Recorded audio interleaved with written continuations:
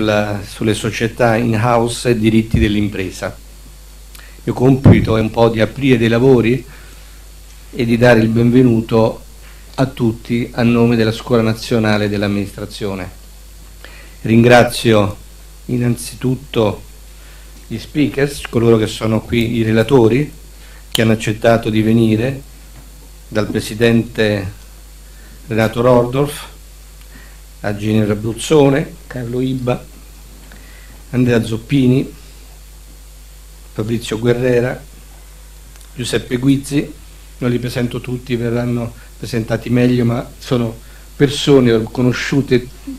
ampiamente da un pubblico chiaramente esperto e un pubblico formato da, dal mondo del diritto, dei, dei giuristi. E soprattutto poi voglio ringraziare la professoressa Massa e il professor Cintioli per aver organizzato questo convegno. Questo incontro promosso dalla, dalla Scuola Nazionale di Amministrazione si pone nella scia di, quello, di, di una giornata di studio organizzata lo scorso anno nel quale si era affrontato il tema delle società pubbliche alla luce della copiosa, sempre più copiosa legislazione in, in materia. E il discorso prosegue quest'anno mettendo al centro dell'attenzione quella particolare tipologia di società pubbliche che sono le società in house, società che sono partecipate, come voi sapete, in modo pressoché totale dalle amministrazioni, da uno o più amministrazioni,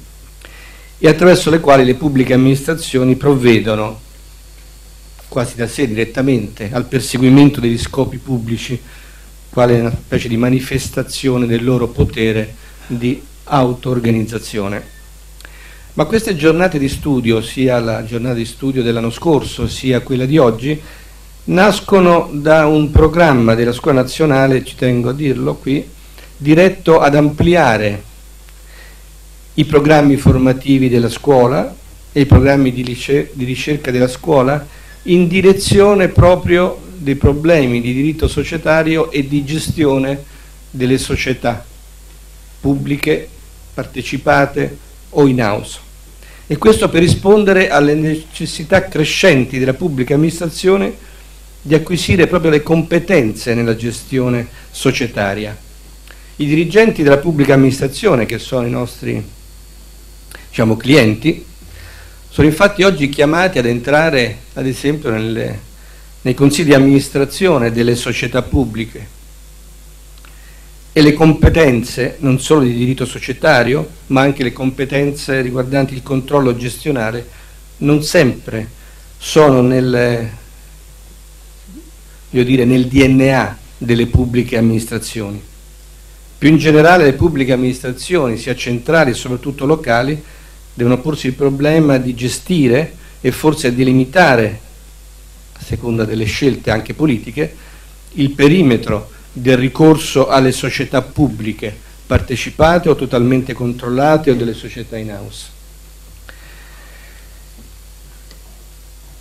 Appare il quadro normativo di riferimento che è nuovamente oggetto di interventi parziali e soprattutto l'evoluzione giurisprudenziale pongono vari problemi e soprattutto sulla tenuta di, diciamo, del modello privatistico che dovrebbe caratterizzare questa società, al cospetto di una svolta interpretativa che a volte è in senso marcatamente pubblicistico, ma questo sarà un tema di discussione in cui io non mi avventuro perché non sono un giurista, ma quello che voglio dire è che in effetti mi sembra che sia sempre più difficile conciliare le, le conseguenze imposte sul piano applicativo da una prospettiva che esalta le esigenze peculiari del socio pubblico con il modello privatistico. Ora, l'impressione è che la pubblica amministrazione in generale, dopo essersi intrappolata, scusatemi il termine, nelle maglie sempre più fitte del diritto amministrativo, abbia tentato a un certo punto di crearsi uno spazio di azione attraverso le società pubbliche per operare in base al diritto privato, ma che essa faccia fatica per tradizione e anche per formazione, io credo, a operare in quest'ambito e forse non abbia conseguito i successi gestionali auspicati in questo tentativo. Il risultato è che forse si cerca di riportare sotto controllo amministrativo, di diritto amministrativo in qualche modo, sotto controllo dell'amministrazione, società create per evitarlo e che questo non crei appunto effetti gestionali granché positivi. C'è l'impressione in sostanza, almeno dal pubblico, che ci si trovi di fronte a una specie di ibrido, un cocervo che sfugge di mano. Ma forse si tratta del, eh, di, un, di un generale non risolto contrasto tra un desiderio che pervade la pubblica amministrazione, ma anche società, parte della società italiana e parte della politica, di muoversi verso un'amministrazione e una società basata prevalentemente e di più sul diritto privato, una società e un'economia più di tipo anglosassone. E la resistenza invece forte di un'amministrazione e una società in generale, in cui al contrario il diritto pubblico non restringe il suo perimetro di azione, ma anzi tende ad essere sempre più pervasivo, e parlo di vari ambiti, dal diritto eh, del lavoro ad altri, ad altri settori. Un, un conflitto di fondo che si svolge oggi, io credo, a vari livelli. Naturalmente la scuola non ha compiti di interventi di policy né di indirizzo rispetto alla scelta tra i due modelli, ma ha il compito solo di, di dare gli strumenti alla pubblica amministrazione di convivere perlomeno con il sistema creato dal legislatore e quindi di cercare di rafforzare le competenze necessarie per operare con piena cognizione nei mercati e quindi per operare con piena cognizione dei mercati, mercati in cui operano le società pubbliche e con piena cognizione dei principi gestionali, anche privatistici e soprattutto privatistici che, dov che dovrebbero contraddistinguere in realtà. Non si deve infatti, io credo, trascurare che spesso le scelte dei modelli gestionali, di pubblico, privato o del bilanciamento tra le due approcci, della maggiore o, o maggiore o minore regolamentazione dei mercati, scelte che sono scelte politiche del legislatore, ma che non sono scelte del tutto libere di fatto, perché se poi non vi sono le capacità della pubblica amministrazione di gestire i diversi modelli e i modelli alternativi, altrimenti si fanno delle scelte in un senso a cui non corrispondono le capacità necessarie a portare avanti queste scelte e allora o si torna indietro o qualcosa non funziona. È lì che la scuola ha deciso di in qualche modo di dare il suo contributo. Tuttavia la scuola come suo mandato statutario anche il compito di promuovere analisi, ricerca e dibattito. E questo è il fine, lo scopo di, di giornate di studio come queste. Quindi io vi auguro buon lavoro, eh, buon lavoro a tutti i convenuti, rinnovo il benvenuto a tutti i presenti, coloro che hanno trovato il tempo di venire qui evidentemente dal folto pubblico significa che il tema è molto sentito e questo benvenuto è a nome di tutta la Scuola Nazionale dell'Amministrazione. Grazie e io adesso darei la parola al consigliere Garofoli.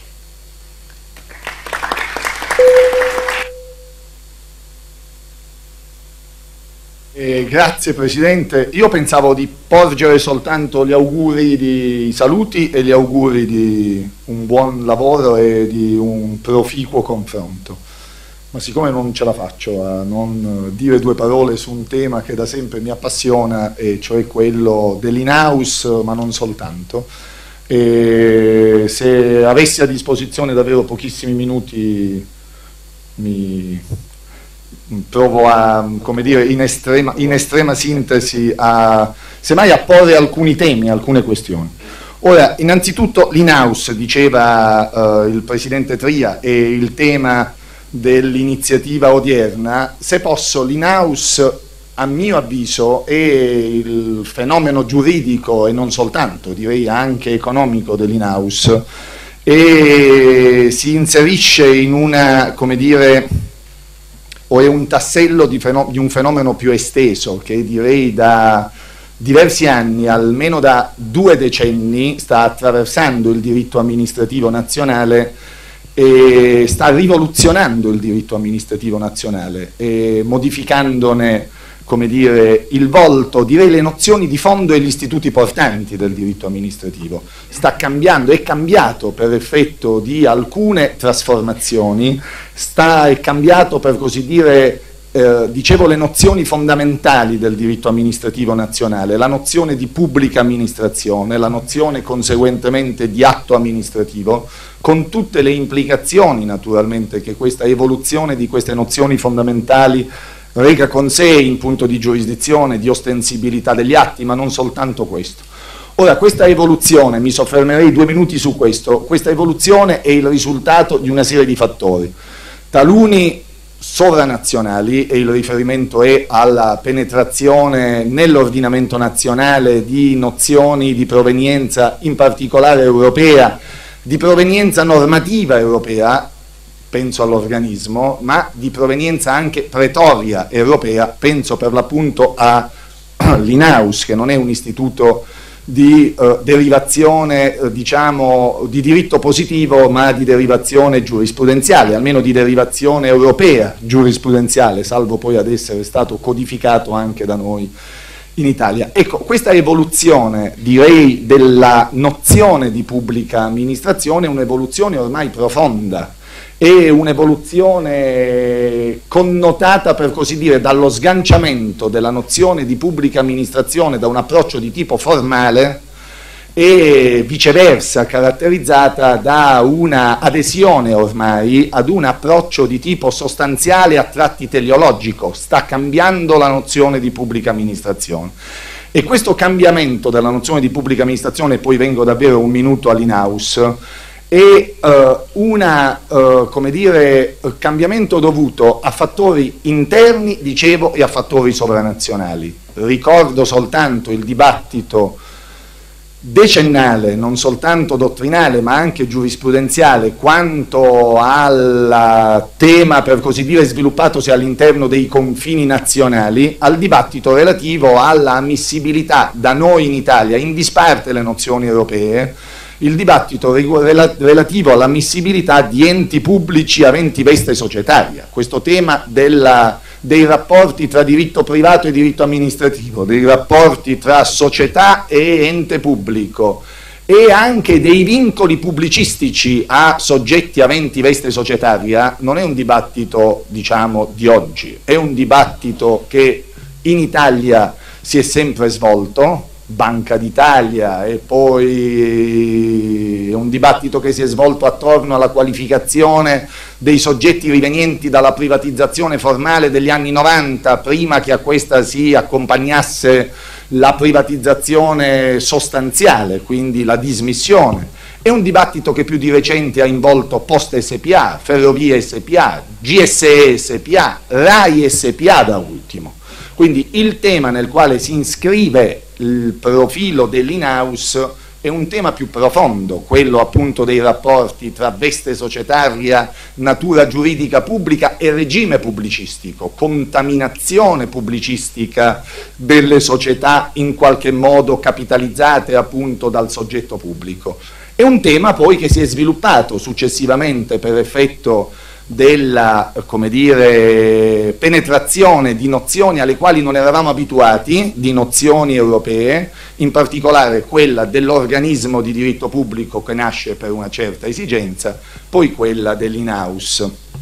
Ora, se questa è la prima e l'evoluzione della nozione di PA, naturalmente sono soltanto cenni, se questa è l'evoluzione della nozione di PA, ecco, importante osservare che a questa evoluzione della nozione di PA, o meglio al tema dei rapporti tra società e nozione di pubblica amministrazione,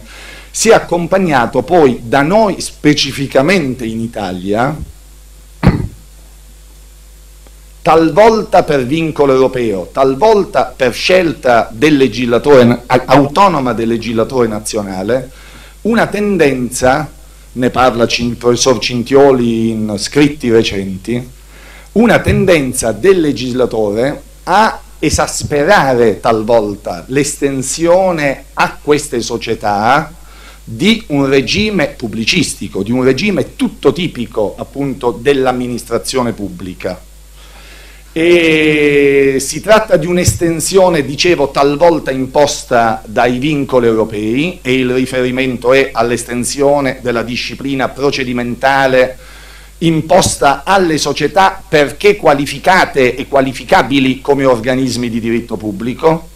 si tratta di un'estensione talvolta decisa dal legislatore nazionale in autonomia, penso al tema della ostensibilità degli atti di queste società,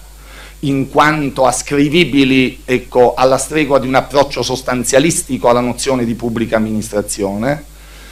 Si tratta di un'estensione imposta o autoimposta dallo stesso legislatore nazionale o dalla giurisprudenza nazionale, con per esempio la previsione della giurisdizione del giudice amministrativo sugli atti o sul contenzioso involgente gli atti,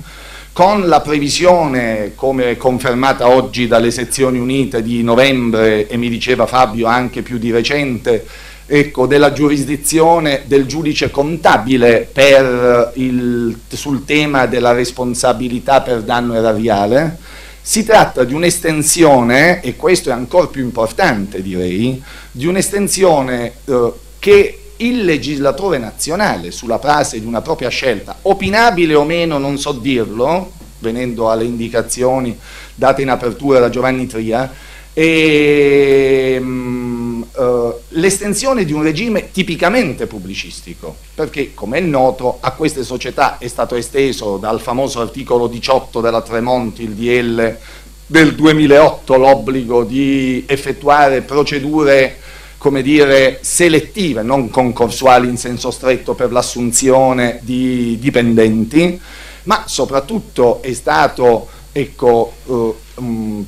esteso a queste società. Una serie di regimi, sono stati estesi di regimi vincolistici volti ad imporre alle società pubbliche e soprattutto a talune di queste società pubbliche una serie di vincoli propri dell'amministrazione pubblica. Gli ultimi sono quelli del DL 66, il DL bonus 80 euro,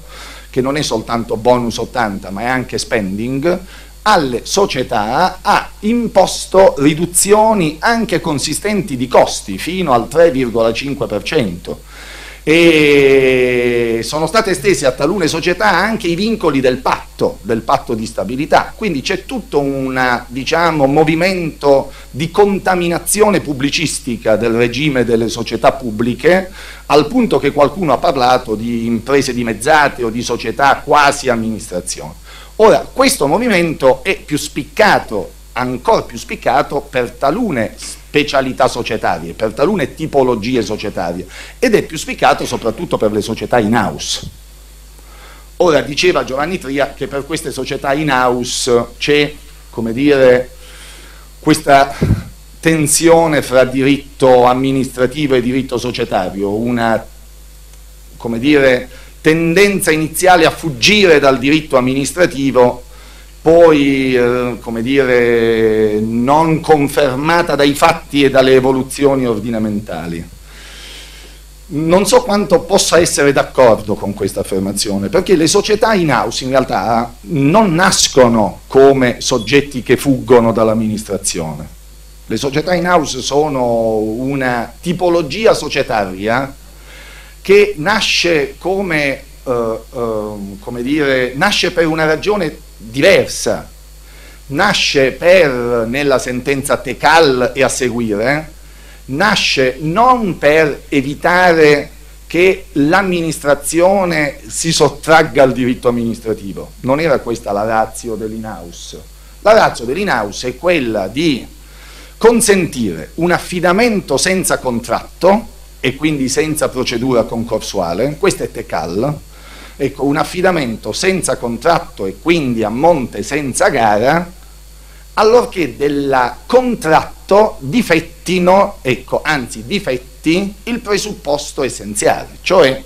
l'alterità tra i paciscenti, la diversità soggettiva tra i paciscenti. Intanto si può stipulare un contratto in quanto ci siano due soggetti distinti ci sia una relazione intersoggettiva, non interorganica, come si è sempre detto da anni, in quanto ci siano soggetti giuridicamente differenti. quando i soggetti non sono diversi, perché fanno parte della stessa struttura amministrativa, ecco, non c'è alterità, non c'è relazione intersoggettiva, c'è una relazione solo tra organi, interorganica, e quindi l'amministrazione può affidare non il contratto, ma la prestazione al soggetto in house, perché quel soggetto in house non è un soggetto diverso dall'amministrazione, ma è l'amministrazione in un suo prolungamento organizzativo, in una sua proiezione organizzativa. Così nasce l'in house, queste sono le ragioni dell'in house. Ora, da sempre si è detto però che l'in house, proprio perché è un prolungamento organizzativo dell'amministrazione, non è un soggetto diverso dall'amministrazione affidante, è a sua volta amministrazione, non c'è dubbio su questo. L'in-house è la pubblica amministrazione, è un pezzo dell'amministrazione affidante, è, mm, è un soggetto che fa parte dell'amministrazione affidante e proprio attorno a questo del resto, a questo concetto di non alterità, di non diversità soggettiva sono stati costruiti i requisiti strutturali dell'in-house da Tecalli in poi, e cioè il requisito del controllo analogo, poi come dire, irrobustito dalla giurisprudenza comunitaria, soprattutto nelle due famose decisioni del 2005, con le quali si è detto che il controllo analogo presuppone la partecipazione non maggioritaria ma totalitaria, pena l'inammissibilità dell'affidamento in house, e il requisito poi funzionale, non strutturale, ecco, consistente nella necessità che il soggetto in house espleti la sua attività non sul mercato, ma in assoluta prevalenza in favore del soggetto affidante. Ora, questo soggetto in house, quindi nato come amministrazione pubblica, il legislatore lo sottopone ancor più che altre società, ancor più che di quanto avviene per altre società pubbliche in senso lato, ecco, lo sottopone, lo ha sottoposto negli ultimi tempi ad un regime pubblicistico con un fenomeno di contaminazione pubblicistica intenso, ad un regime pubblicistico molto robusto, quasi ad un regime pubblicistico del tutto diverso, quel, del, tutto, sì, del tutto analogo a quello cui sono assoggettate le amministrazioni pubbliche al punto da essere assoggettato ai vincoli del patto di stabilità, al punto da essere assoggettato ad una serie di discipline tipicamente pubblicistiche. Costituisce questo una anomalia del legislatore? Io non lo so dire, però non la vedo così in contrasto con le origini dell'istituto. Non vedo questa sottoposizione dell'in-house così, come dire, in contraddizione con l'insè dell'istituto cioè un istituto, un soggetto, quello in house, che prende commesse senza gara perché non è diverso dall'amministrazione affidante, è una proiezione dell'amministrazione affidante, è un, è un organo dell'amministrazione affidante, tant'è che l'affidante deve esercitare sull'in-house un controllo analogo a quello che esercita sulle proprie strutture organizzative, sui propri uffici, questo è il concetto del controllo analogo. Non c'è dubbio però, però questo è il tema del convegno, non c'è dubbio però che questa evoluzione, questa contaminazione pubblicistica sempre più intensa ponga qualche problema e qualche tensione con il regime privatistico delle società. E però su questo mi fermo, non c'è dubbio, cioè che occorra interrogarsi sulla compatibilità tra un regime pubblicistico così robusto, così marcatamente pubblicistico,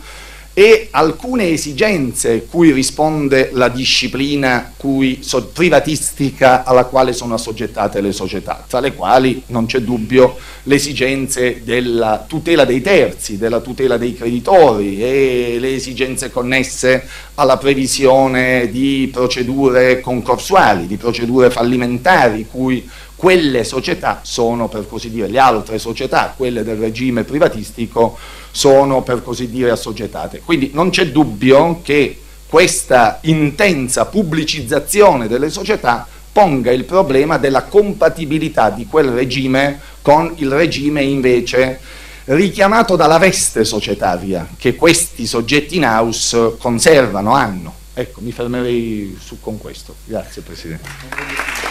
Eh?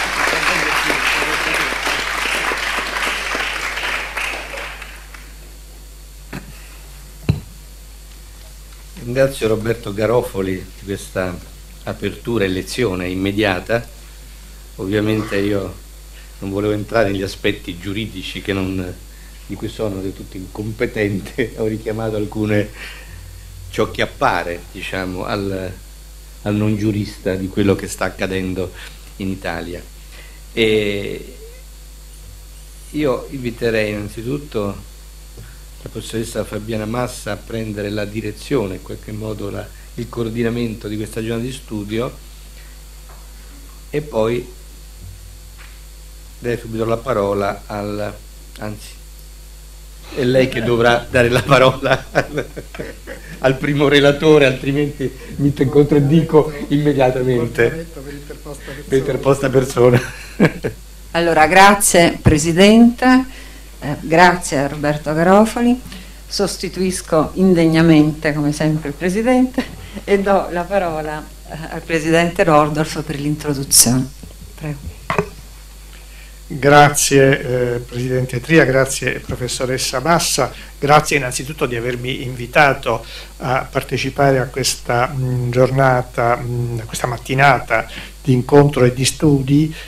che mi aspetto estremamente interessante anche in termini, vorrei dire, egoistici, eh, perché eh, come mh, intendo dire poi nella parte finale dell'introduzione, che cercherò di far breve, eh, parte le questioni sulle quali le sezioni unite si sono già recentemente pronunziate con la sentenza del 2013 sul riparto di giurisdizione in materia di azione di responsabilità nei confronti degli amministratori di società in house e altre successive, a parte dicevo questo, vi sono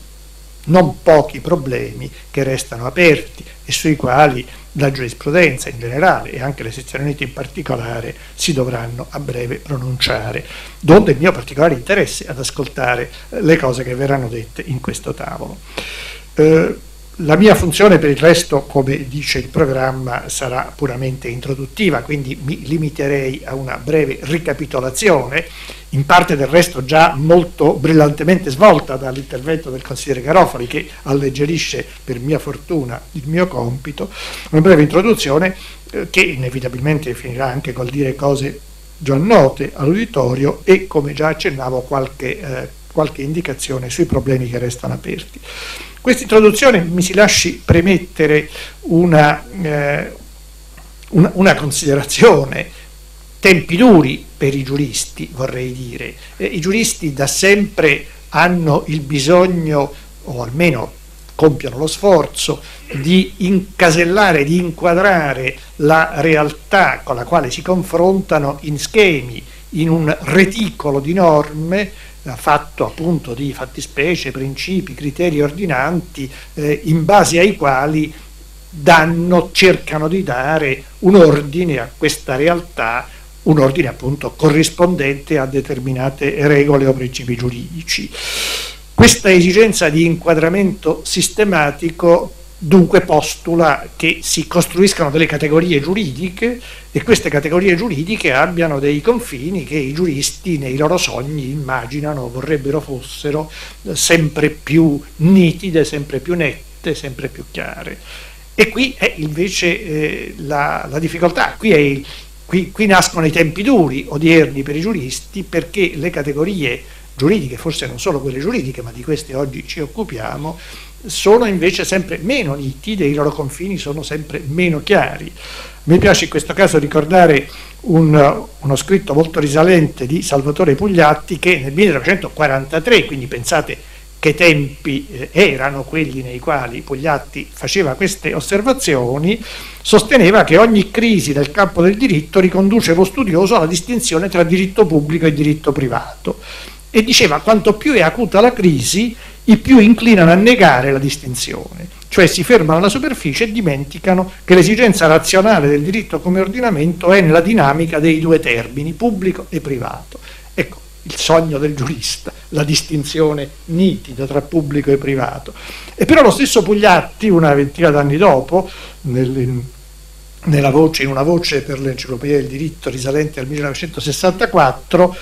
dopo aver richiamato questa sua precedente affermazione, forse un po' più rassegnato, alla realtà delle cose e alla disillusione del sogno del giurista, riconosceva l'esistenza, direi ovvia, di zone di confine, di rapporti aventi natura, natura spuria ed ambigua tra il pubblico e il privato e sottolineava come le oscillazioni di significato nella distinzione tra diritto pubblico e diritto privato e l'alterna tendenza alterna tendenza, mi, mi, ricorda un po' le considerazioni del Presidente Tria sulla, sulle varianti che si sono avute a questo riguardo negli ultimi anni, l'alterna tendenza a privilegiare ora l'una, ora l'altro, ora il diritto pubblico, ora il privato, dipendono largamente dal mutare dello spirito dei tempi e sono legati ai mutamenti storici. Dunque dobbiamo accettare che questo confine tende a spostarsi e innegabilmente oggi tende ad essere particolarmente incerto, le sue linee di demarcazione sono quanto mai sfumate. Questo è un fenomeno di carattere più generale, evidentemente, è un fenomeno che nasce da quelle considerazioni che già molto, eh, molto eh, puntualmente richiamava prima il consigliere Garofali circa l'evolversi della concezione stessa della pubblica amministrazione, del suo modo di agire, vorrei dire dal fatto che la stessa concezione della pubblica amministrazione come soggetto di, dotato di poteri sovraordinati e di poteri di imperio si è andata progressivamente sostituendo con una concezione piuttosto funzionale di questi poteri destinati al servizio dell'interesse generale, ma che nulla vieta possa essere soddisfatto anche con ricorso a strumenti di stampo, di stampo privatistico. E Dall'altro versante, sul versante del diritto privato, ed in particolare per quello che oggi qua interessa il nostro discorso, sul versante del diritto delle società, la rigida categorizzazione tipologica che eh, tradizionalmente connotava, in qualche misura ancora naturalmente connota, il diritto societario in campo privatistico è andata anch'essa non poco allentandosi, la eh, possibilità di configurare all'interno di una società interessi anche eterogenei e non sempre necessariamente di carattere prettamente eh, commerciale mercantile, hanno fatto dello strumento societario qualcosa che eh, forse in questo mio dire c'è un'esagerazione, ve lo perdonerete, ma lo indico come linea di tendenza, non come approdo, qualcosa che fa dello strumento societario un modello tendenzialmente neutro all'interno del quale possono calarsi esigenze, finalità, scopi, eh, tendenze diverse e quindi più facilmente anche finalità funzionali alla realizzazione di quell'interesse pubblico che la pubblica amministrazione utilizzando lo strumento societario per sua natura privatistico mira a conseguire. Donde appunto quella minor nettezza di confini tra l'agire pubblico e privato che si realizza particolarmente nel campo del diritto societario attraverso lo strumento delle cosiddette società pubbliche, espressione peraltro molto, molto vaga perché sotto questa definizione di società pubbliche si eh, si manifestano in verità realtà assai diversificate. Dicevo, questa, questa commistione di interessi e di situazioni e che giustifica quella tensione della quale si è parlato tra la natura giuridica dello strumento e le esigenze giuridiche, ma di altro genere, delle finalità alle quali lo strumento viene piegato. Questo problema si manifesta, come dicevo, sotto molti profili all'occhio del giurista e sul tavolo del giudice, si è manifestato in modo particolarmente vivace in questi ultimi anni nel campo del riparto della giurisdizione ed in particolare quanto all'attribuzione di competenza giurisdizionale nell'esercizio delle azioni di responsabilità nei confronti degli amministratori di queste società pubbliche, continuo ad usare l'espressione eh, per il momento in senso, in senso ampio, eh, contrapponendosi l'ovvio riferimento alla normativa del codice civile che del resto contempla essa stessa la possibilità che le società di diritto privato disciplinate dallo stesso codice civile siano partecipate dallo Stato o da altri enti pubblici, senza per questo, salvo alcune norme specifiche, eh, comportare un diverso regime giuridico né per le società né per i doveri e gli obblighi dei rispettivi amministratori ed anzi eh, vale la pena di richiamarlo sempre a questo proposito nella relazione al codice del 1942 espressamente veniva detto è lo Stato medesimo che si assoggetta alla legge delle società per azioni per assicurare alla propria gestione maggiore snellezza di forme e nuove possibilità realizzatrici, quindi si assoggetta lo Stato alla legge delle società per azioni. Ma è stato già anche ricordato, e sarò molto breve a questo riguardo, la stagione delle privatizzazioni degli anni 90 ha largamente mutato questo scenario vi era in quella tendenza probabilmente sottesa l'idea che il mercato e le intrinseche dinamiche del mercato potessero fungere da regolatore del funzionamento anche dei servizi pubblici meglio di quanto non lo avessero fino ad allora fatto gli strumenti tipici del diritto amministrativo e che quindi anche l'operatività di enti che quei servizi sono destinati a erogare dovessero in qualche misura, se posso dir così, mimare il mercato, se non addirittura agire in un vero e proprio regime di libero mercato. Donde un panorama del diritto societario assai più variegato, frutto di intreccio tra iniziativa statutaria e una miriade di disposizioni di leggi speciali che, come pure già è stato detto, si sono andate affastellando in modo non sempre, devo dire, sistematico e ordinato a questo riguardo, reintroducendo elementi tipici della struttura della, della, del diritto pubblico nelle vicende proprie della struttura e nella disciplina propria di queste società pur formalmente di diritto privato e contribuendo quindi a quella commistione a quella tensione tra i due poli dei quali si è detto e dei quali, e dei quali stiamo parlando. Questo contesto, dovendo risolvere il problema di riparto di giurisdizione cui prima accennavo, come tutti sappiamo, le sezioni unite della Cassazione, dopo alcune pronunzie precedenti che avevano lasciato aperti dei margini di incertezza maggiori, con non una per la verità, ma una serie di sentenze del 2009, la eh, più nota e rilevanti delle quali ha un numero che ora da qualche parte ho annotato, ma ecco, è la numero 26.806 del 2009, hanno affermato la giurisdizione del giudice ordinario, hanno negato la giurisdizione del giudice contabile nelle azioni di responsabilità per danni alla società cagionati dalla mala gestione degli amministratori o da eventuali vizi di controllo nel caso della responsabilità degli organi di controllo, in generale con riguardo alle società partecipate da enti pubblici, con una sola eccezione o forse un paio di eccezioni per società a statuto a fatto speciale di origine legale, in particolare, come sappiamo, per la, per la RAI. Eh, questa affermazione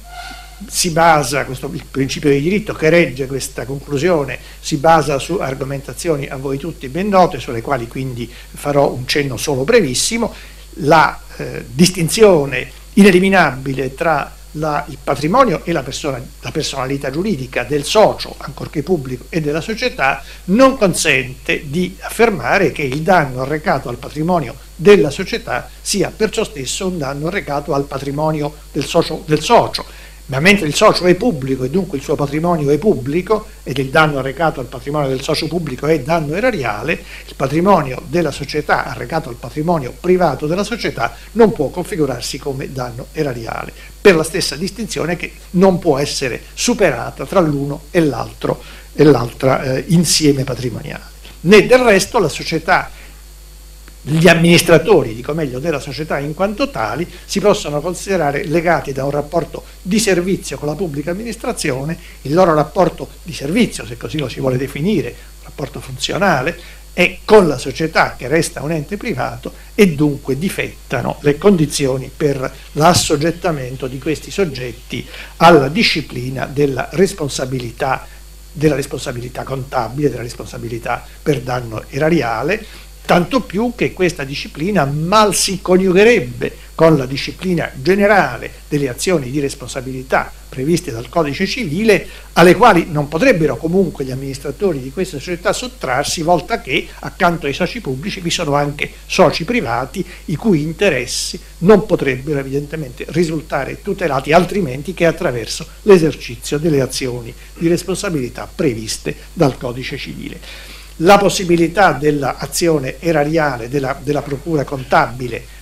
resta eh, affermata quando il danno recato dall'amministratore si riferisca non al patrimonio della società, ma sia un danno direttamente riferibile al patrimonio del socio. E qui è stata invocata la nota distinzione presente nel codice civile e nei principi generali del diritto societario tra il danno alla società che solo indirettamente si ripercuote sul patrimonio del socio e del quale la società, ma non il socio, possono dunque pretendere risarcimento e danno diretto al patrimonio del socio che prescinde, che non implica un danno al patrimonio della società e quest'ultimo, ove il socio sia un socio pubblico, effettivamente è riconducibile all'azione di responsabilità eh, davanti alla Corte dei Conti la quale azione di responsabilità del resto, hanno aggiunto le sezioni unite in quell'occasione, può esercitarsi non nei confronti degli amministratori della società responsabili degli atti di malagestio, che come abbiamo detto non sono in rapporto diretto con il pubblico, ma sono amministratori di una società pur sempre privata, bensì nei confronti dello stesso socio pubblico o di chi il socio pubblico in persona nelle vicende societarie per non avere esercitato ove ciò sia, appunto, ove ciò sia effettivamente loro imputabile, per non aver esercitato quei poteri che all'interno di una società il socio, anche pubblico, ha per controllare, per stimolare, per reagire all'eventuale malagestio degli amministratori. Questo in estrema sintesi il quadro nascente da quelle sentenze del 2009, rispetto alle quali la sentenza, le sentenze del 2013 e seguenti hanno eh, introdotto un elemento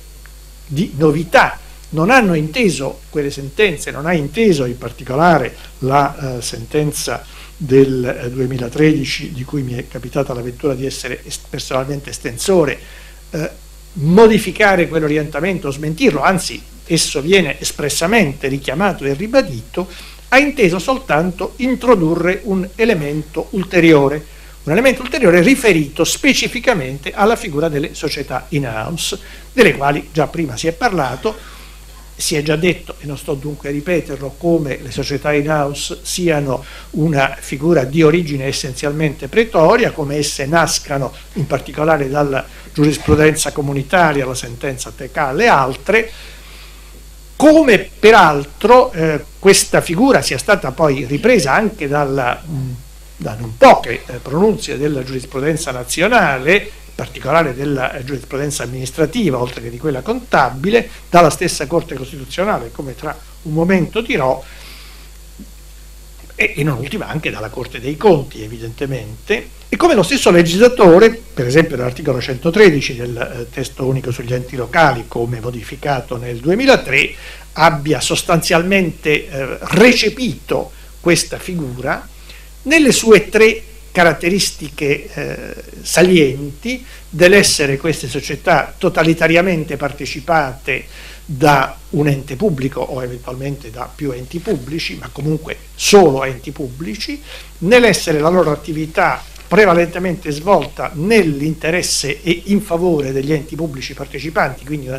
un'attività una sostanzialmente fuori del mercato, nell'essere gli amministratori di, loro, di queste società assoggettati ad un controllo analogo a quello al quale sono assoggettati i dipendenti della pubblica amministrazione, controllo da parte della pubblica amministrazione partecipante. Queste eh, caratteristiche hanno condotto tutto quello che ormai si usa definire, che anch'io definirò, il diritto vivente, cioè il modo in cui un diritto che ancora per la verità dal punto di vista delle norme positive è estremamente lacunoso, variegato, eh, tutt'altro che chiaro,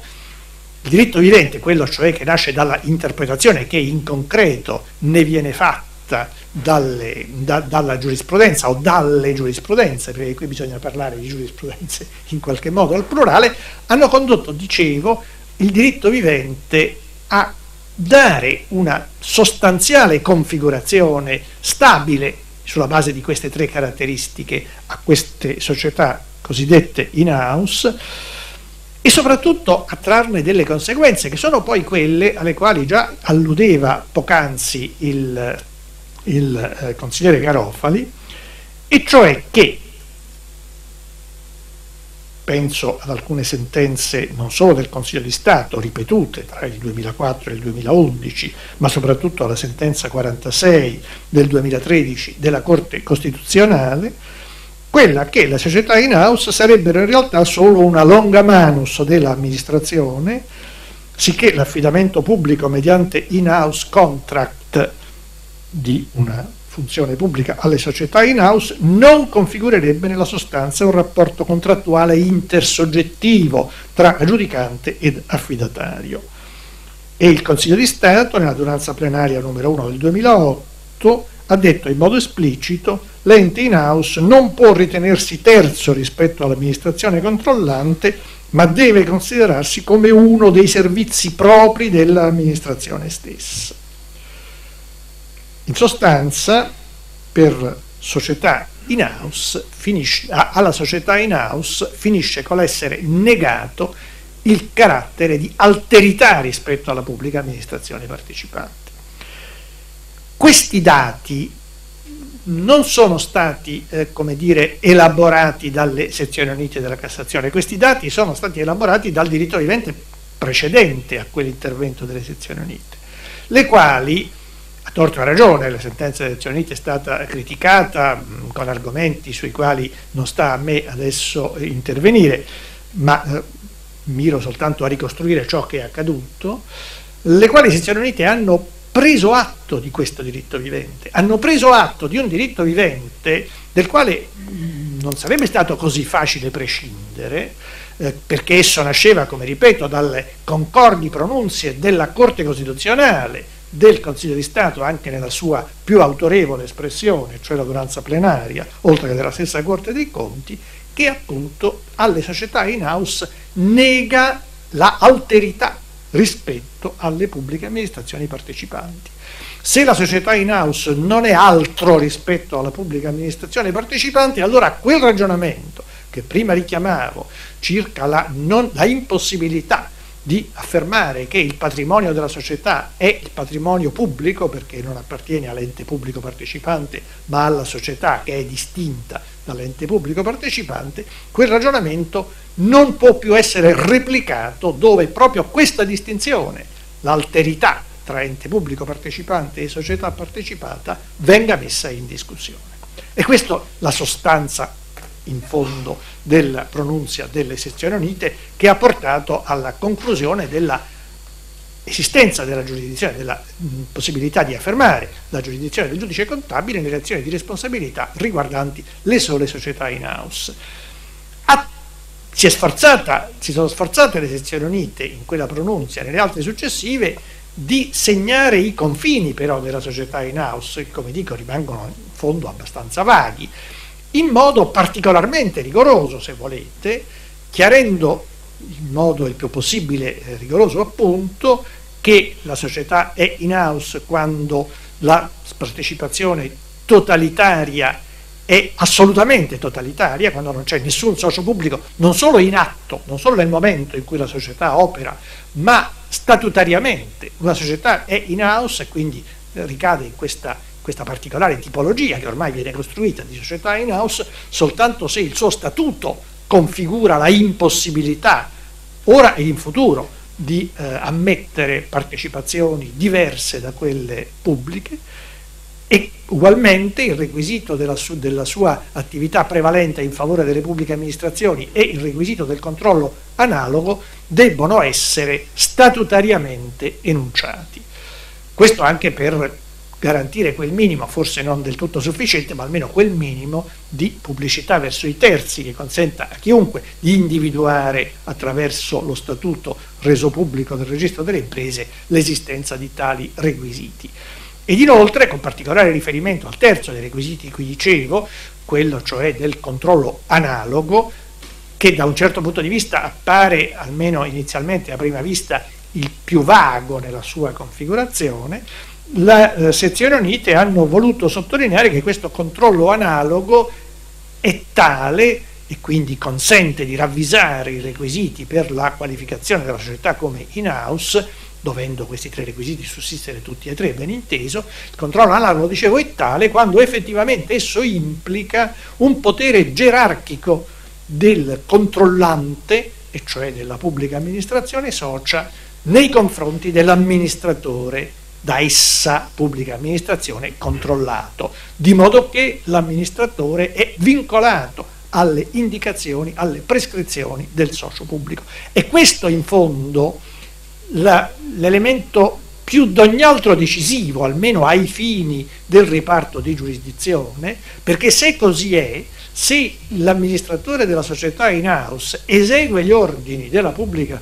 amministrazione, allora davvero la sua posizione non si distingue non si può ragionevolmente distinguere da quella di un pubblico dipendente, un pubblico dipendente di, una, di un ramo dell'amministrazione che risponde davanti alla Corte dei Conti per la violazione dei doveri a lui incombenti e per il quale un'analoga responsabilità non potrebbe non ammettersi dove negli stessi termini di subordinazione egli si trovasse pur avendo la veste formale di amministratore di una società. Questi ripeto, i punti salienti di quella eh, impostazione giurisprudenziale, criticata, criticabile naturalmente quanto si vuole, mm, che, eh,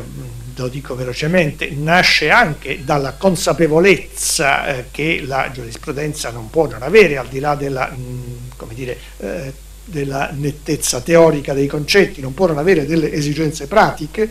che sono state ampiamente eh, manifestate in molte sedi e da molte parti, soprattutto nella, da, da, parte della stessa Corte dei Conti, anche in relazioni ufficiali, di non sottrarre del tutto al controllo della Corte dei Conti medesima questa ampia fascia di eh, situazioni nell'ambito delle quali le società in house appunto non, gran parte delle attività amministrative si svolge e anche gran parte degli sprechi del denaro pubblico si manifestano. Eh, le sezioni unite della Cassazione hanno, avuto, hanno fatto attenzione a precisare che questa loro affermazione, anche se naturalmente partendo dalla impostazione generale che un momento fa richiamavo, che appunto suggerisce la non, più che suggerire, prende atto di un diritto vivente che nega l'alterità tra società in house e pubblica amministrazione partecipante, pur consapevole, dicevo, che questa affermazione in via di principio non può non avere delle ricadute sistematiche che vanno ben al di là del solo problema della giurisdizione, ha tuttavia, hanno tuttavia tenuto le sezioni unite in quella sentenza a sottolineare che questa affermazione da esse fatta era fatta ai fini del riparto di giurisdizione, lasciando, come dire, aperta, volutamente aperta la discussione sulla possibilità di trarre analoghe conseguenze anche in altri campi diversi da quelli del riparto di giurisdizione, conseguenze cioè per le quali l'adozione ad opera della pubblica amministrazione di questo particolare suo modello organizzativo, perché di questo in fondo si tratta, della società in house per lo svolgimento di pubblici servizi, possa l'avere adottato questo particolare modello organizzativo, tuttavia comportare l'applicazione di una serie di norme tipiche di quel modello, più non della sostanza amministrativa della funzione, eh, in campi diversi, ripeto, da quelli del riparto della giurisdizione. Se in materia di riparto di giurisdizione non si sarebbe potuto trattare diversamente l'amministratore della società in house da un qualsiasi pubblico dipendente, in altri campi la scelta del modello organizzativo società, ancorché in house, può ancora ipoteticamente lasciare spazio alla utilizzazione di normative di tipo privatistico e non di tipo pubblicistico. E qui si apre quello spazio ai problemi aperti dei quali un momento fa dicevo e ai quali naturalmente anche perché il tempo che ho preso è fin troppo lungo, eh, mi limito ad accennare velocissimamente, li metto sul tappeto della discussione soltanto eh, e naturalmente senza nemmeno la pretesa di esaurirli, perché ce ne sono sicuramente anche molti di più di quanti io stesso in questo momento non riesca ad individuarne, individuo quelli che sono già concretamente sul tavolo, eh, uno non riguarda propriamente le società in house, riguarda in genere le società pubbliche, ma è tema sul quale le sezioni unite dovrebbero eh, emettere un provvedimento nei prossimi mesi ed è quello del, ancora una volta qui del riparto di giurisdizione, ma riguardante il problema della,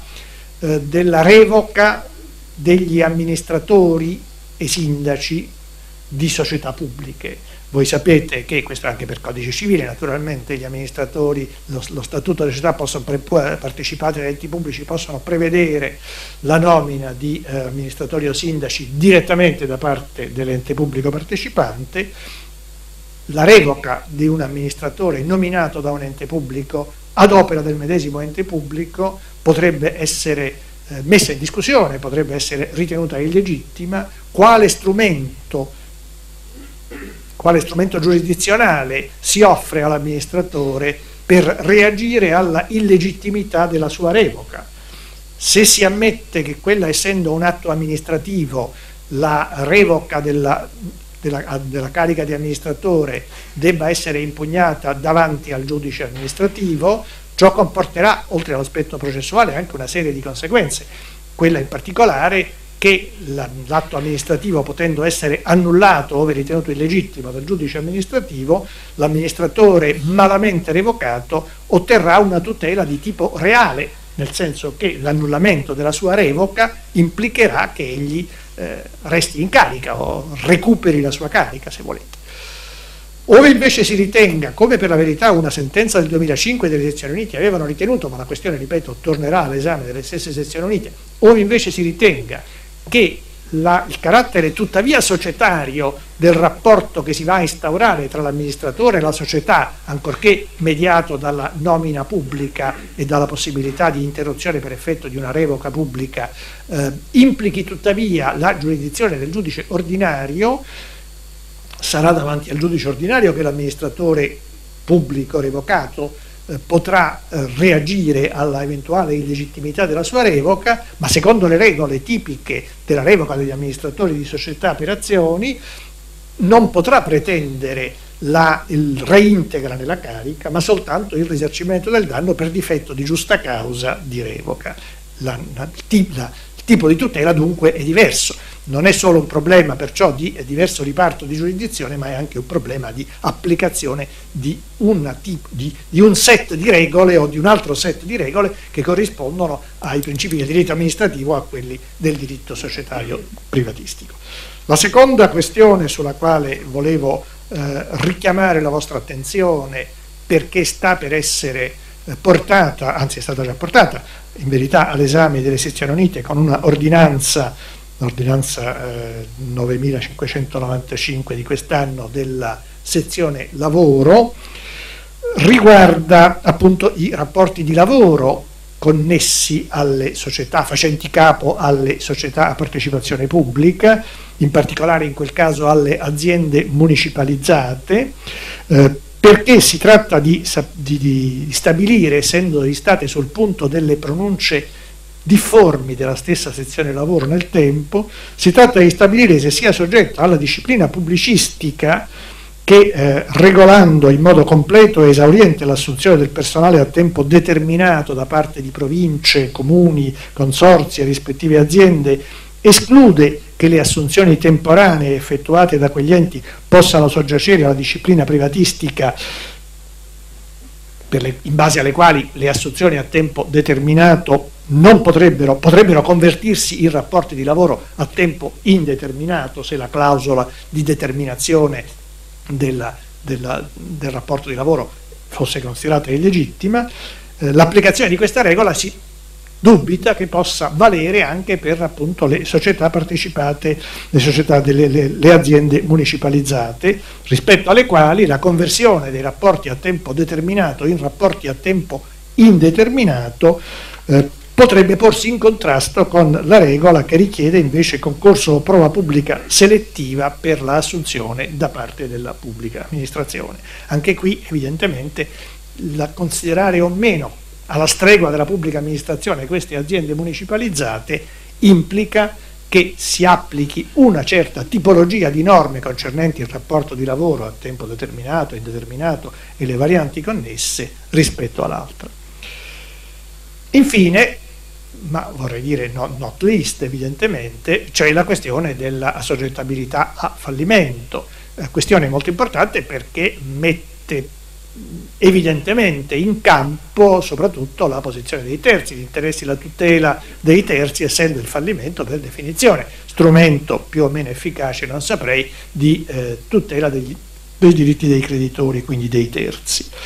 Eh, che eh, anche le società eh, a partecipazione pubblica, ancorché incaricate dello svolgimento di pubblici servizi, possano essere assoggettate a fallimento, non bastando la loro funzionalizzazione al pubblico servizio a farle qualificare come ente pubblico, che altrimenti non sarebbe ovviamente soggetto a fallimento, che dicevo anche queste società siano assoggettabili a fallimento, è stato affermato ripetutamente con due sentenze della prima sezione civile del 2012 e del 2013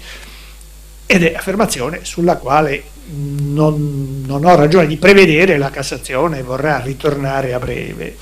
Aggiungo anche, ed è uno spunto che traggo proprio dalla sentenza 22.209 del 2013, eh, la quale ha ricordato come il decreto legge 134 del 2008 abbia dettato norme specifiche in tema di ristrutturazione industriale delle grandi imprese in crisi che operano nel settore dei pubblici servizi essenziali per evitare che essi subiscano interruzioni e però per la stessa norma, dettando queste regole per evitare che quei servizi subiscano interruzione, non ha escluso, anzi ha implicitamente confermato che quelle imprese siano sottoposte alla procedura di amministrazione straordinaria, il che sembrerebbe confermare sul piano sistematico la assoggettabilità a fallimento di questa tipologia di imprese, quando di fallimento e non di amministrazione straordinaria si dovesse trattare.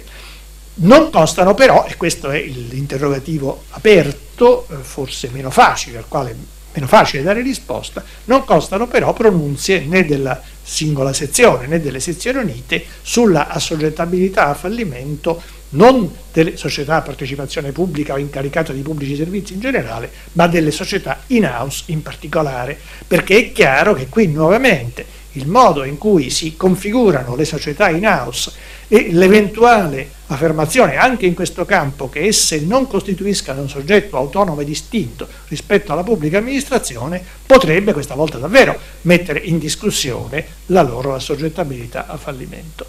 Ma questo è appunto uno dei problemi aperti sui quali immagino e spero che la discussione che seguirà eh, potrà fornire a tutti noi e me per primo degli importanti elementi di riflessione. Vi ringrazio.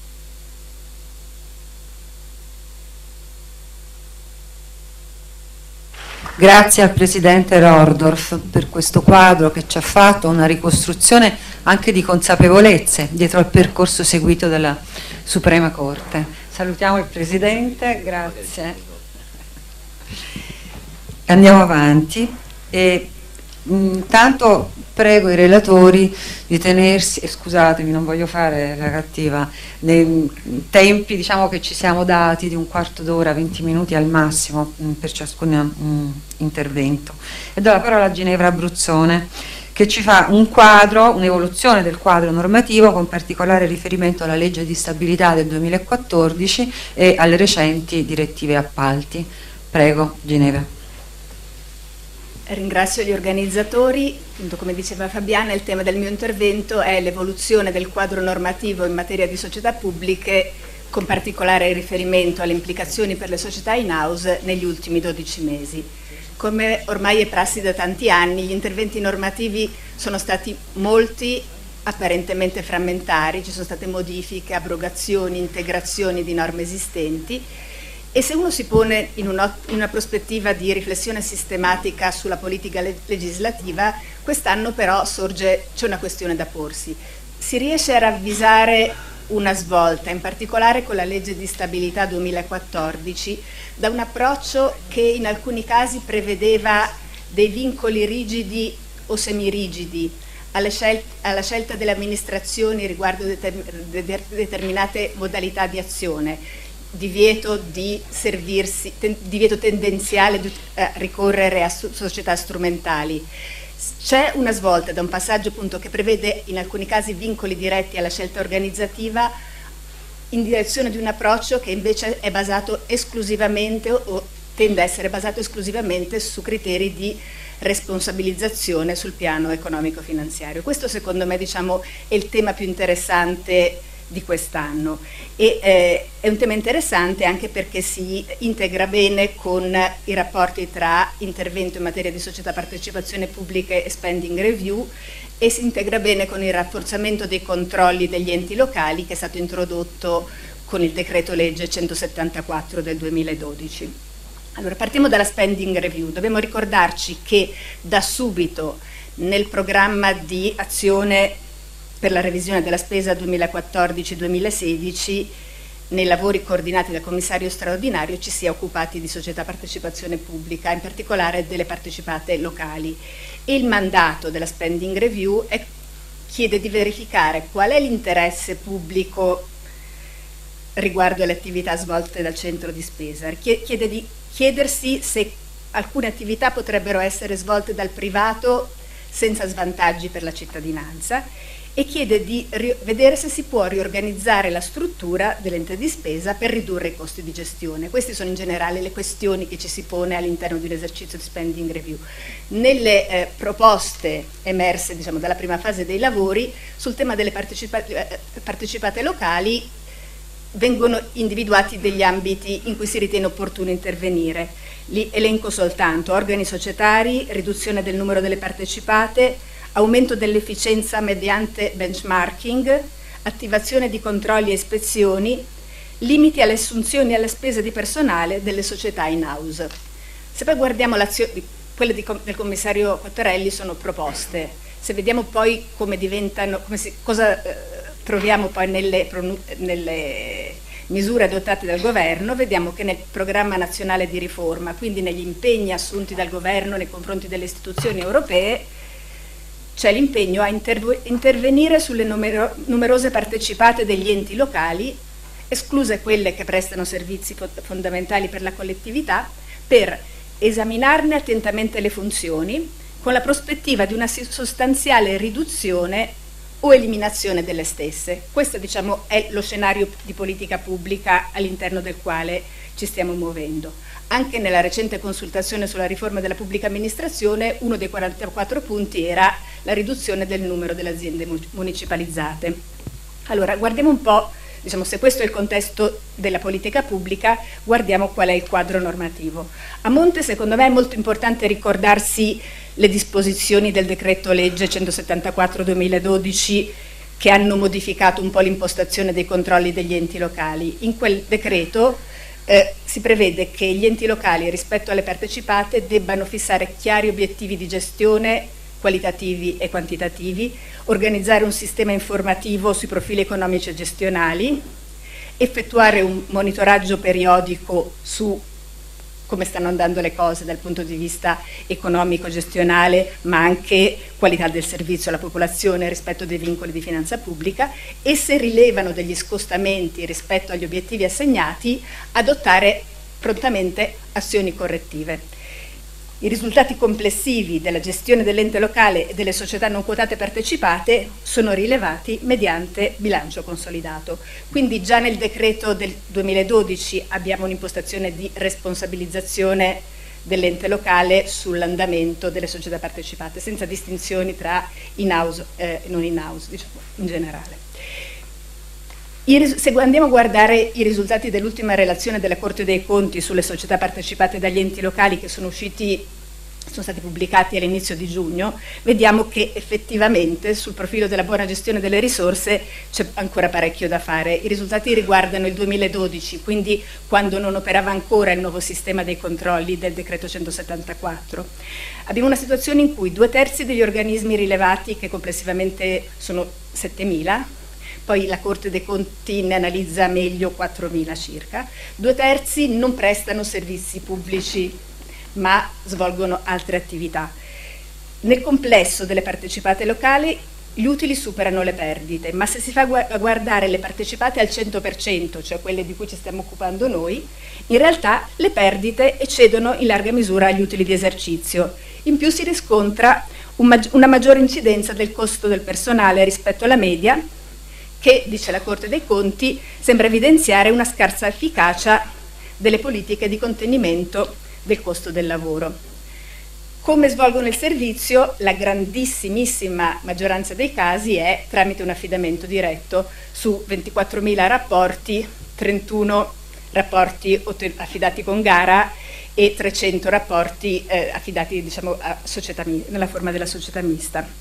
Quindi Dato questo contesto di le, le interamente partecipate delle amministrazioni locali non vanno tanto bene, non sembrano controllare bene diciamo, il costo del, del personale, è importantissimo che il sistema dei controlli del decreto 174 inizi a operare. Sapete che c'è un'applicazione graduale, primo, eh, ha cominciato a operare dal 2013 per i comuni sopra i 100.000 abitanti, nel 2014 dovrebbe passare a quelli sopra i 50.000 per poi arrivare al 2015 ai comuni sopra i 15.000 abitanti. Quindi diciamo, dato questo contesto, un possibile filo conduttore di questa continua evoluzione norma della normativa che vediamo sempre come frammentaria è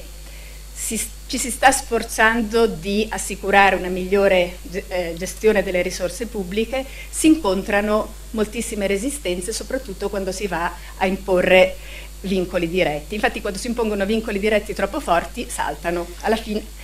vengono rinviate le scadenze, vengono rinviate le scadenze e poi alla fine la disposizione viene abrogata. Quindi diciamo, serve in qualche modo un mutamento di approccio.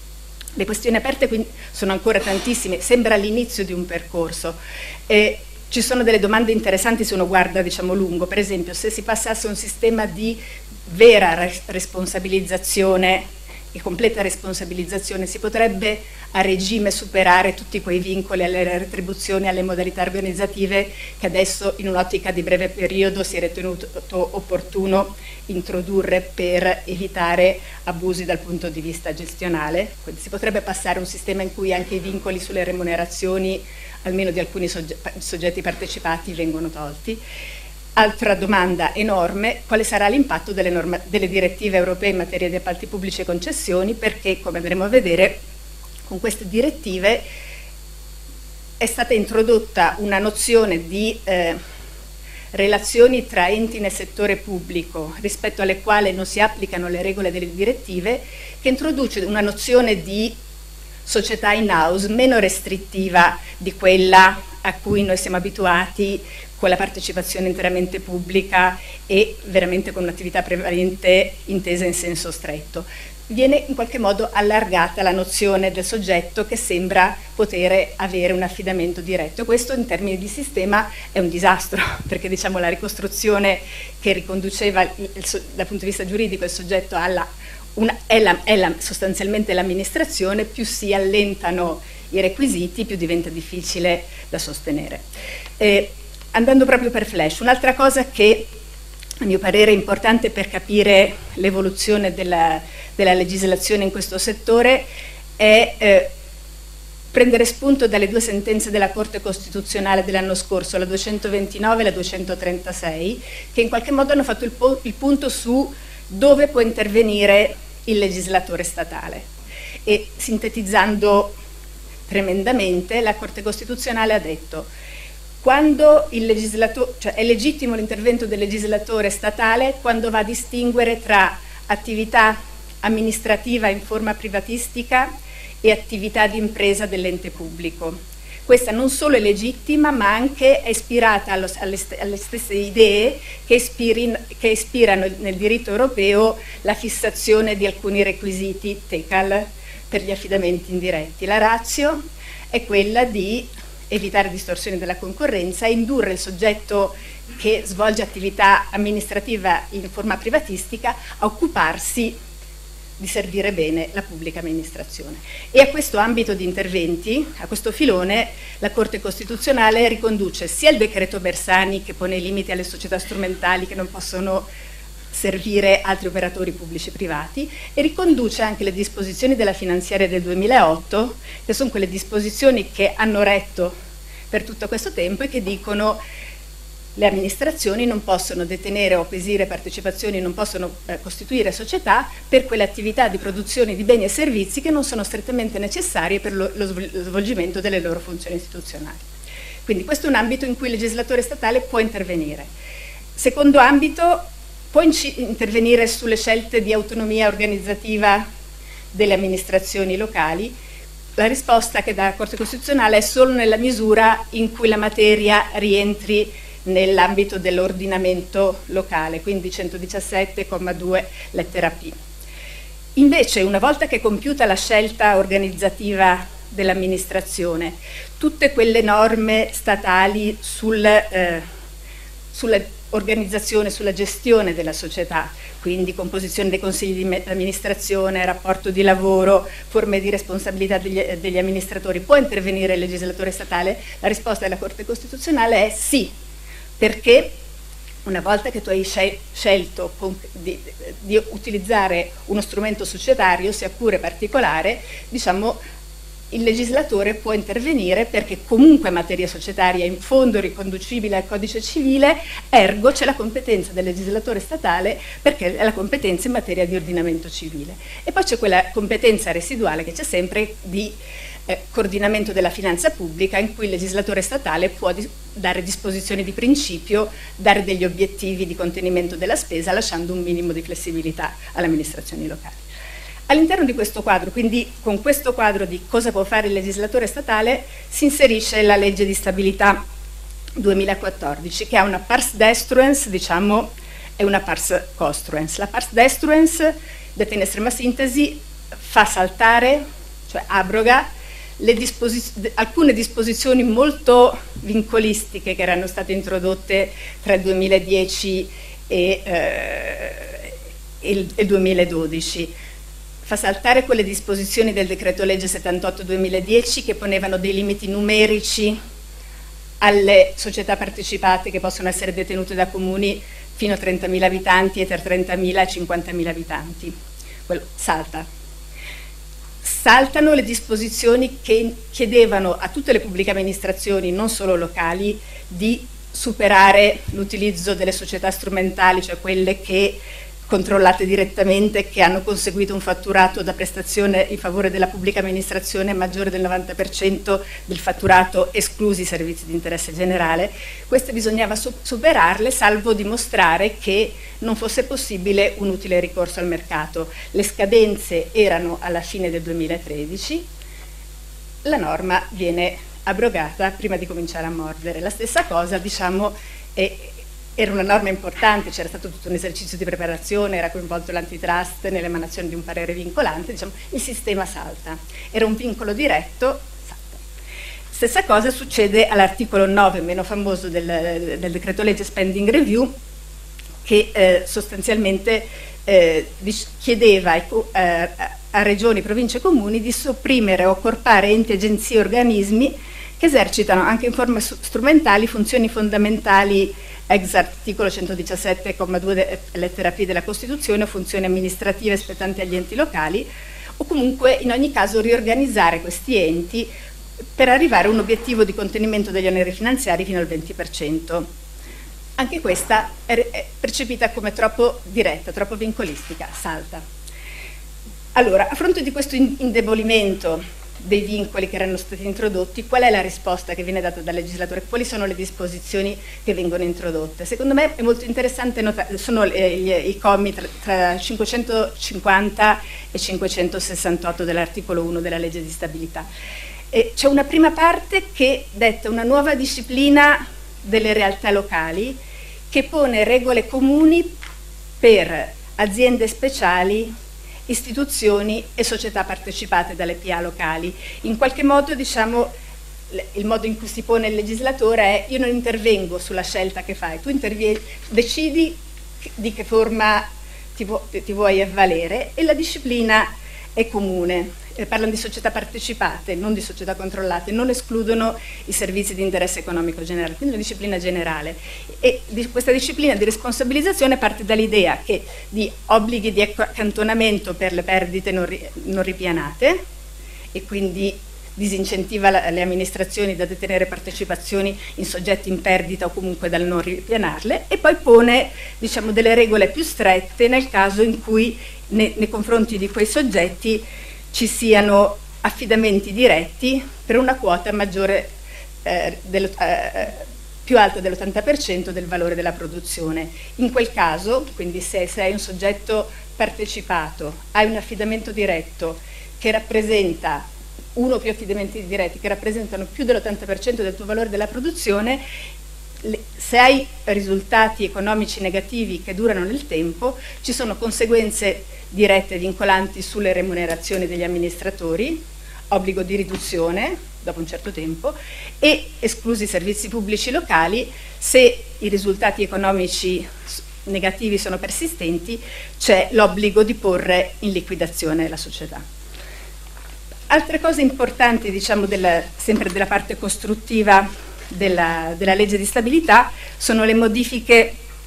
del decreto legge 112 del 2008 sulla politica del personale. Sostanzialmente l'idea è per le realtà locali che sono più strettamente integrate nelle pubbliche amministrazioni e quindi aziende speciali, istituzioni, società controllate, titolari di affidamenti diretti oppure che svolgono eh, funzioni di servizio di interesse generale senza carattere industriale o commerciale o funzioni di supporto di, eh, di, di, natura pubblicistica, per tutte quelle si applica la disciplina della pubblica amministrazione sul fronte delle assunzioni, sul fronte del continuamento degli oneri contrattuali e così via. Poi ci sono, diciamo, sempre eh, un'altra disposizione importante è l'introduzione di vantaggi fiscali in caso di scioglimento o alienazione delle società controllate dalle pubbliche amministrazioni locali, quindi una norma di vantaggio rispetto allo scioglimento o, a, o all'alienazione delle controllate e poi il, la, la, resurrezione della, della, disposizione della legge finanziaria del 2008 che era sempre stata nell'ordinamento però latente, senza vincoli diciamo, eh, di, da, a, di, attuazione dopo che era scaduto il primo periodo in cui le amministrazioni avrebbero dovuto attuarla, quindi l'obbligo di uscire da tutte quelle partecipazioni che non sono strettamente connesse allo svolgimento delle attività istituzionali viene rimessa in vita per 12 mesi e se per caso le pubbliche amministrazioni non facessero seriamente questa verifica, cosa succede? C'è una conseguenza automatica. Se l'alienazione della partecipazione non viene effettuata mediante procedura evidenza pubblica, la partecipazione tra 12 mesi, anzi meno adesso, cessa ogni effetto e la società è tenuta a liquidare in denaro l'ente partecipante, diciamo, 12, entro 12 mesi. Quindi sostanzialmente diciamo, la cosa interessante della, eh, della legge di stabilità 2014 è questo non soffermarsi tanto sulla tipologia del soggetto cercando di limitare il ricorso a una forma diciamo, organizzativa, ma quello di intervenire sulle conseguenze dal punto di vista eh, diciamo, economico e di rivitalizzare questa norma che chiede di rivedere tutte le partecipazioni a tutte le pubbliche amministrazioni, sia centrali che locali. Ecco, si, eh, quindi sembrerebbe un percorso verso,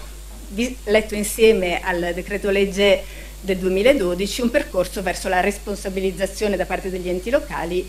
eh, sul, eh, sull'assetto delle loro partecipate, comprese le società in house. Cosa succede con le direttive europee? Con le direttive europee si cambia il quadro perché sostanzialmente c'è questa nozione di eh, rapporti, quindi appalti o concessioni tra enti nell'ambito del settore pubblico in cui la, a livello normativo ci si discosta dalla, uh, dalla, posizione della giurisprudenza della Corte di Giustizia sui requisiti per l'affidamento diretto, perché sostanzialmente si dice per la parte prevalente dell'attività la direttiva ritiene sufficiente che il soggetto aggiudicatario svolga oltre l'80% della sua attività nei confronti dell'amministrazione. C'è l'avvocato generale Mengozzi che eh, diciamo, nel, nella sua opinione su una sentenza, eh, una sentenza eh, eh, diciamo, della Corte di Giustizia dice, cioè, osserva, ma questo è un grosso scostamento, il 20% dell'attività svolta nei confronti di altri soggetti non è una parte irrilevante dell'attività, è un quinto dell'attività. E secondo, il secondo scostamento importante è, con riferimento al controllo analogo, la direttiva consente forme di partecipazione di capitali privati che non comportano controllo o potere di veto, prescritte dalle disposizioni legislative nazionali in conformità ai trattati che non esercitino un'influenza determinante sulla persona giuridica controllata. Quindi diciamo, il requisito dell'intera proprietà pubblica viene in qualche modo attenuato. Le questioni grosse a livello interpretativo che dobbiamo affrontare ponendoci nell'ottica del recepimento delle direttive che deve avvenire entro due anni. La prima è queste nuove definizioni della direttiva, che portata hanno? È semplicemente dire a, questo, a questi, queste relazioni non si applicano le disposizioni della direttiva, ma comunque rimane impregiudicata l'applicazione dei principi del trattato e quindi comunque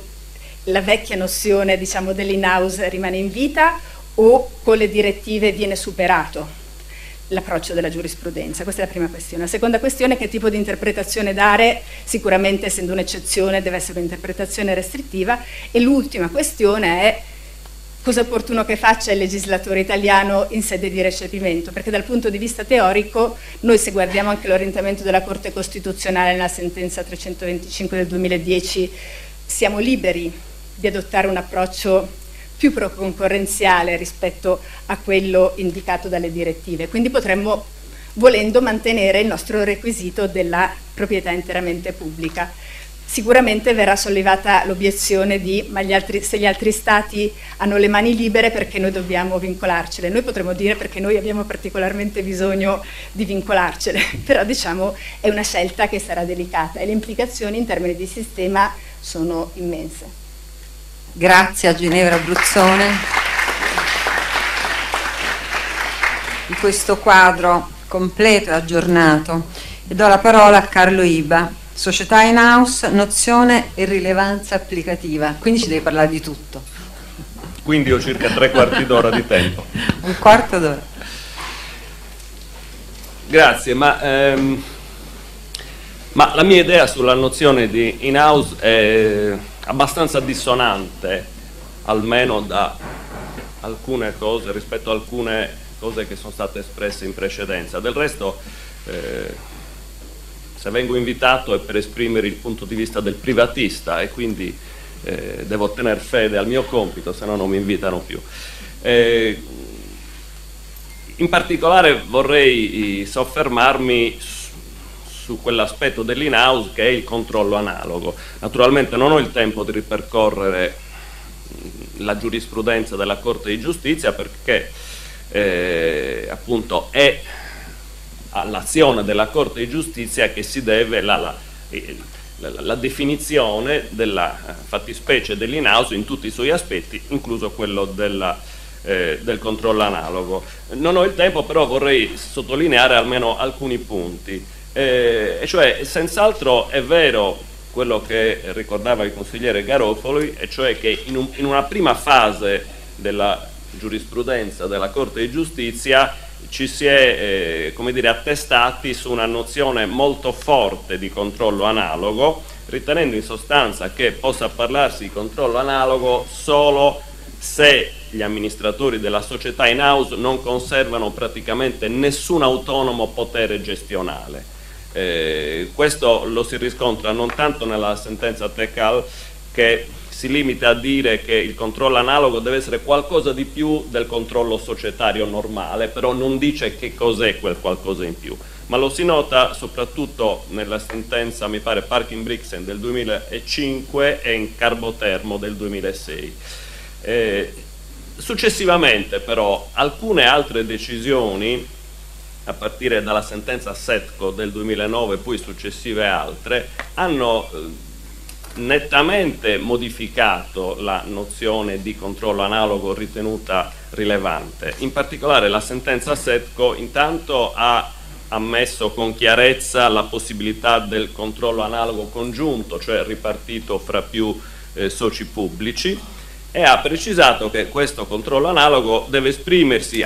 e può esprimersi attraverso la partecipazione a organi collegiali che quindi deliberano a maggioranza e in cui quindi la posizione dell'ente pubblico marginale eh, rischia di, di, restare tale appunto e, eh, e, dice in cosa consiste il controllo analogo? Consiste nella possibilità di influenza determinante sugli obiettivi strategici e sulle decisioni importanti, quindi possibilità di influire sugli obiettivi strategici e sulle decisioni importanti, che è cosa diversa dal controllo stringente che ha il superiore sul dipendente. Quindi non è il rapporto gerarchico esteso a ogni singola decisione gestori, a quale forse poteva intendersi secondo le precedenti decisioni della Corte di Giustizia. Quindi in sostanza qual è allora il, quel quid pluris che il controllo analogo deve avere rispetto al normale controllo discendente dall'esercizio dei diritti di socio. A dire il vero, la Corte di Giustizia rispetto al controllo analogo individuale non lo dice mai con chiarezza, però lo ha detto, ripeto, a partire dal 2009 in alcune pronunce rispetto al controllo analogo congiunto, dove, ripeto, ha individuato l'essenza del controllo analogo nella possibilità di incidere sulla direzione strategica e sulle de decisioni importanti o significative, che poi naturalmente sono formule che andrebbero riempite di contenuto, però sicuramente significa che gli amministratori non sono semplicemente esecutori di ordini che vengono dall'ente pubblico socio. E se questo è stato detto per il controllo analogo congiunto, mi sembra ragionevole ritenere, come eh, ha concluso per esempio Mario Libertini dopo aver fatto un'analisi critica molto buona di questa giurisprudenza, mi sembra condivisibile ehm, concludere che quel che vale per il controllo analogo congiunto valga anche per il controllo analogo individuale. Quindi controllo analogo come possibilità di incidere sulle decisioni fondamentali della società, diciamo così. Eh, e questa, eh, che sia questa la, la, la, nozione di controllo analogo con cui dobbiamo fare i conti, lo si ricava anche dalla direttiva eh, sugli appalti pubblici del 2014 che è stata poc'anzi ricordata perché lì c'è stato appunto una lì il controllo l'in-house è inteso in senso allargato sotto diversi profili ma mi soffermo anche qui solo sul controllo analogo. Si dice espressamente che si ritiene che l'amministrazione aggiudicatrice eserciti su una persona giuridica un controllo analogo a quello esercitato eccetera eccetera qualora esercitino un'influenza determinante sugli obiettivi strategici e sulle decisioni significative della persona giuridica controllata. E poi si aggiunge che è ammesso anche il controllo analogo indiretto ossia effettuato per il tramite di un'altra persona giuridica controllata allo stesso modo. Eh, allora, se questa è quindi la nozione di controllo analogo con la quale dobbiamo fare i conti, passerei ora a, a esaminare un altro versante, quello del diritto interno, cioè quali sono gli strumenti giuridici in, che possiamo utilizzare nel nostro ordinamento per realizzare situazioni di controllo analogo così intenso. E trago spunto anche qui dalla sentenza SETCO che è abbastanza interessante, Lì eh, il caso specifico che riguardava una società eh, italiana era quello di un controllo analogo appunto ripartito fra più enti locali i quali in base a precise norme statutarie partecipavano a dei comitati, c'era un comitato unitario e diversi comitati tecnici che deliberavano a maggioranza e che potevano impartire istruzioni, direttive eccetera agli organi sociali, assemblea e amministratori. Eh, una clausola molto interessante secondo me è quella, è la clausola statutaria secondo cui in sostanza eh, la, ehm, il compimento di operazioni da parte degli amministratori in assenza delle autorizzazioni dell'assemblea o dei comitati prescritte dallo statuto o in difformità da queste eh, indicazioni eh, sarebbe stato configurato come giusta causa di revoca quindi se gli amministratori no, fa, non fanno quello che gli viene detto di fare o fanno qualcosa di diverso, possono essere revocati per giusta causa. Mi sembra una indicazione significativa perché a mio avviso questo significa che questi comitati cui partecipano i rappresentanti dei vari enti locali e che per statuto sono configurati come degli organi sociali aggiuntivi, aggiuntivi e sovraordinati rispetto ad assemblea e consiglio di amministrazione, sono sì organi statutari, le cui delibere tuttavia mi pare di poter dire non hanno rilevanza esterna, nel senso che se si dice che l'inosservanza delle prescrizioni di questi comitati può costituire giusta causa di revoca degli amministratori, mi pare si dia per scontato che quel che hanno fatto gli amministratori in difformità resti fermo, cioè eh, non c'è una prescrizione statutaria che pretenda di dire se gli amministratori si discostano ciò che fanno è illegittimo, quindi non c'è rilevanza verso i terzi, a mio avviso, dell'inosservanza di queste prescrizioni. L'altro aspetto interessante di quel caso è questo, che in presenza eh, di eh, queste previsioni statutarie, il giudice del rinvio, che era il TAR Lombardia, eh, osserva, come si legge nella sentenza, che queste prescrizioni statutarie, ad avviso del, del giudice di rinvio appunto, dice, parrebbero assimilabili a patti parasociali. Cioè il giudice del rinvio, mi pare di capire, si pone il problema, ma delle prescrizioni di questo tipo che configurano organi sociali atipici, cioè non previsti dal diritto societario, eccetera, eccetera, ma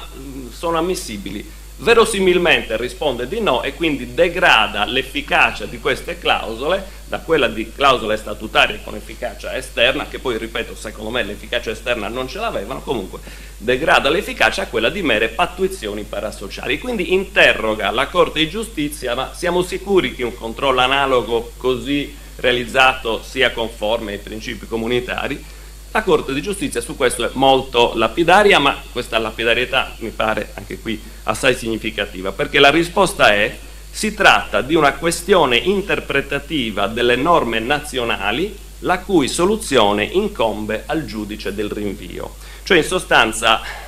su quali siano gli strumenti effettivamente utilizzabili alla luce del, del diritto interno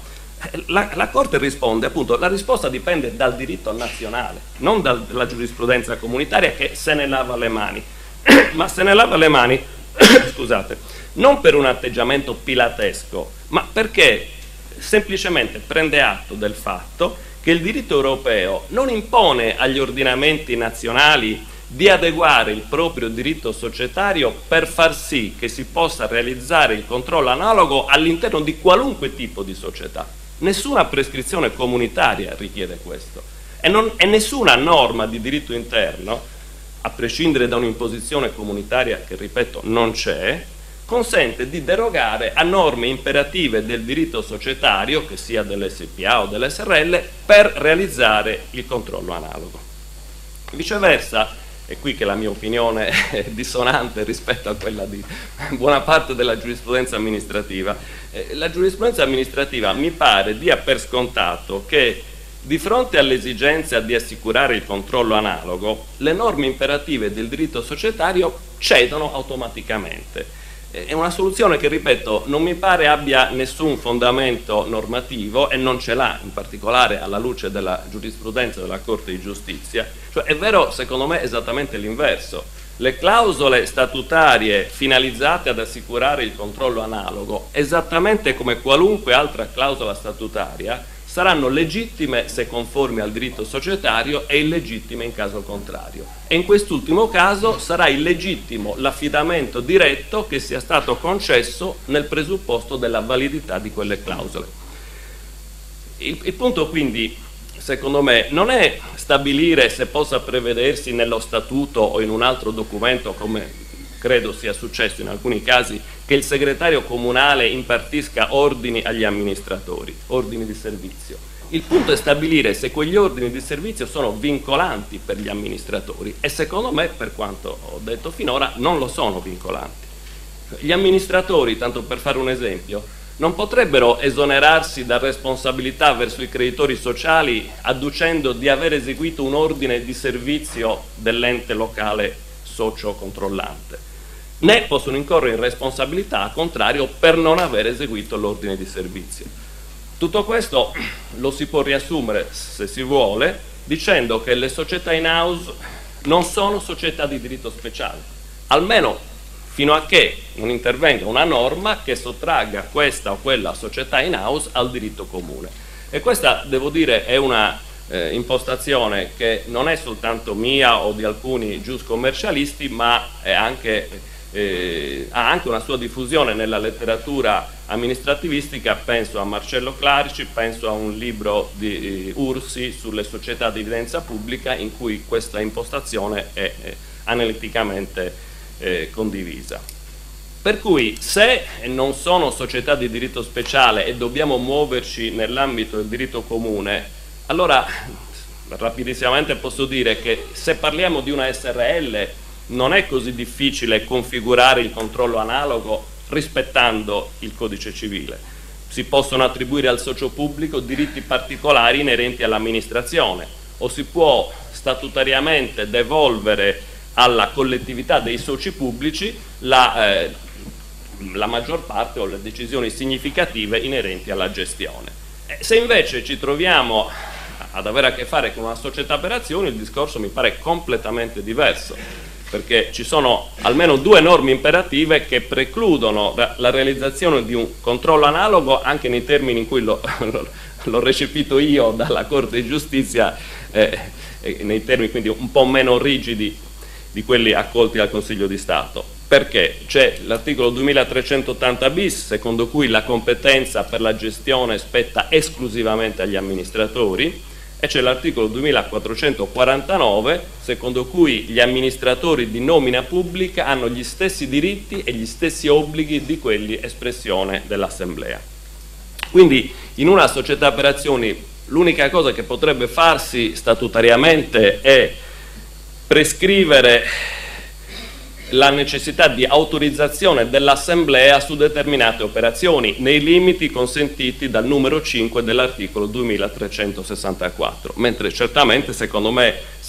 sarebbe illegittima la previsione di poteri assembleari di indirizzo, di autorizzazione o, di, o tantomeno di poteri gerarchici, come sicuramente è illegittima la previsione di organi statutari atipici che abbiano compiti che vanno al di là di funzioni consultive o istruttori, eccetera, e comunque sarebbe illegittima, a mio avviso, qualunque clausola che in qualunque modo sottraesse o pretendesse di sottrarre agli amministratori il potere di gestione. Non fosse altro che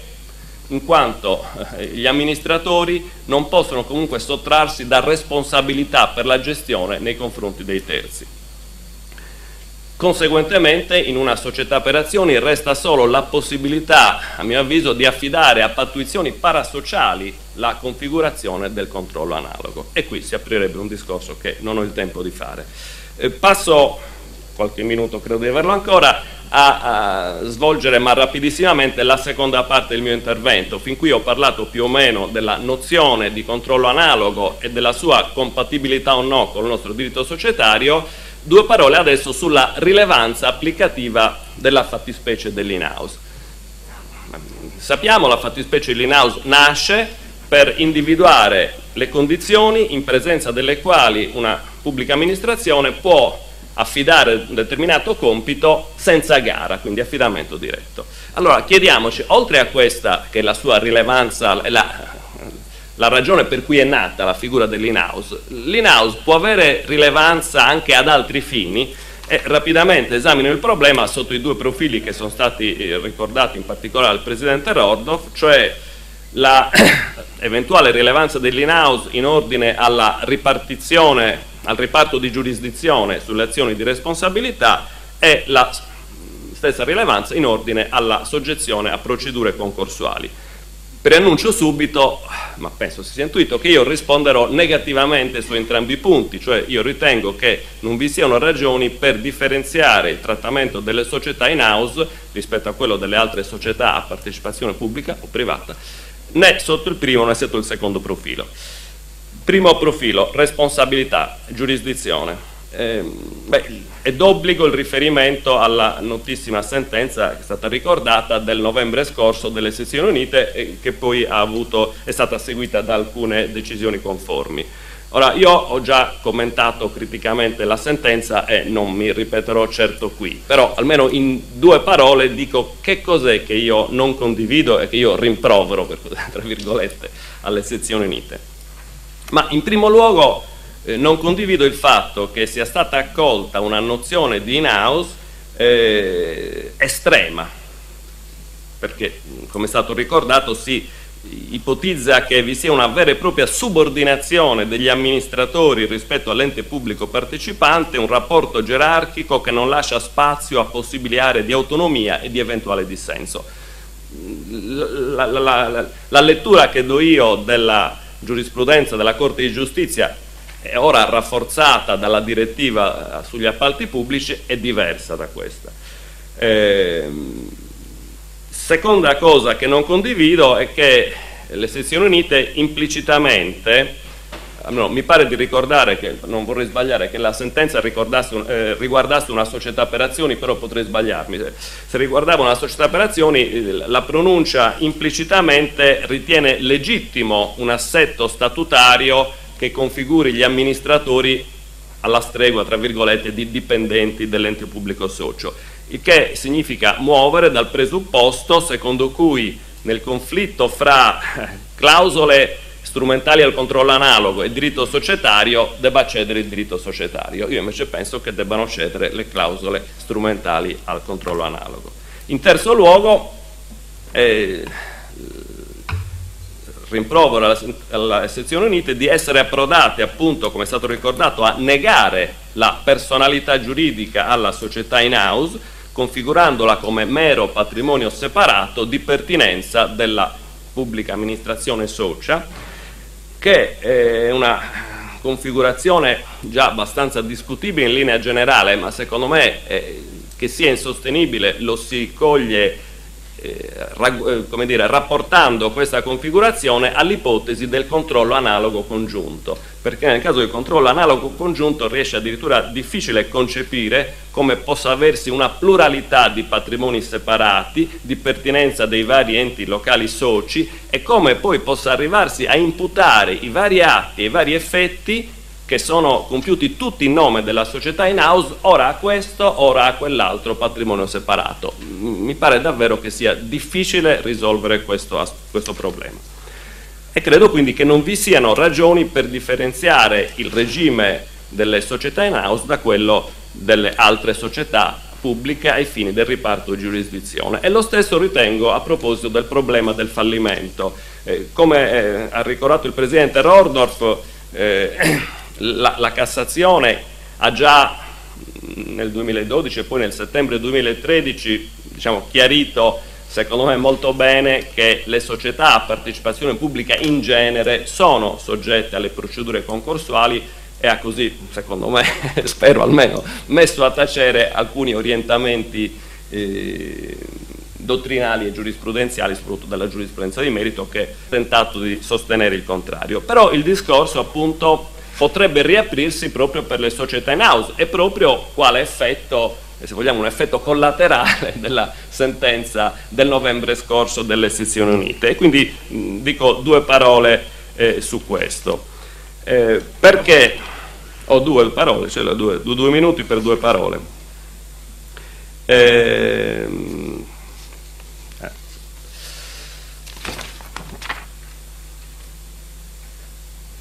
Perché la sentenza del novembre scorso potrebbe riaprire il discorso? Perché è chiaro che se noi diciamo che la società in house non è una persona giuridica autonoma, ma fa parte, è un'articolazione interna della pubblica amministrazione socia, allora dovrebbe essere, si può dire, esonerata dal fallimento in quanto ente pubblico o comunque per la sua natura pubblicistica. Eh, io ho detto che non condivido la premessa, ma prescindo da questo per ora e osservo che in ogni caso e del resto anche nella motivazione delle sezioni unite c'è un passaggio che circoscrive la portata della sua ricostruzione. La, la concezione delle sezioni unite, diciamo della immedesimazione fra società in house e ente pubblico socio, non è detto che si estenda al di là dello specifico problema per il quale è stata elaborata, cioè quella nozione serve in quella pronuncia per risolvere il problema del riparto di giurisdizione ma eh, non è detto che debba valere ad ogni altro effetto, come del resto alcuni tribunali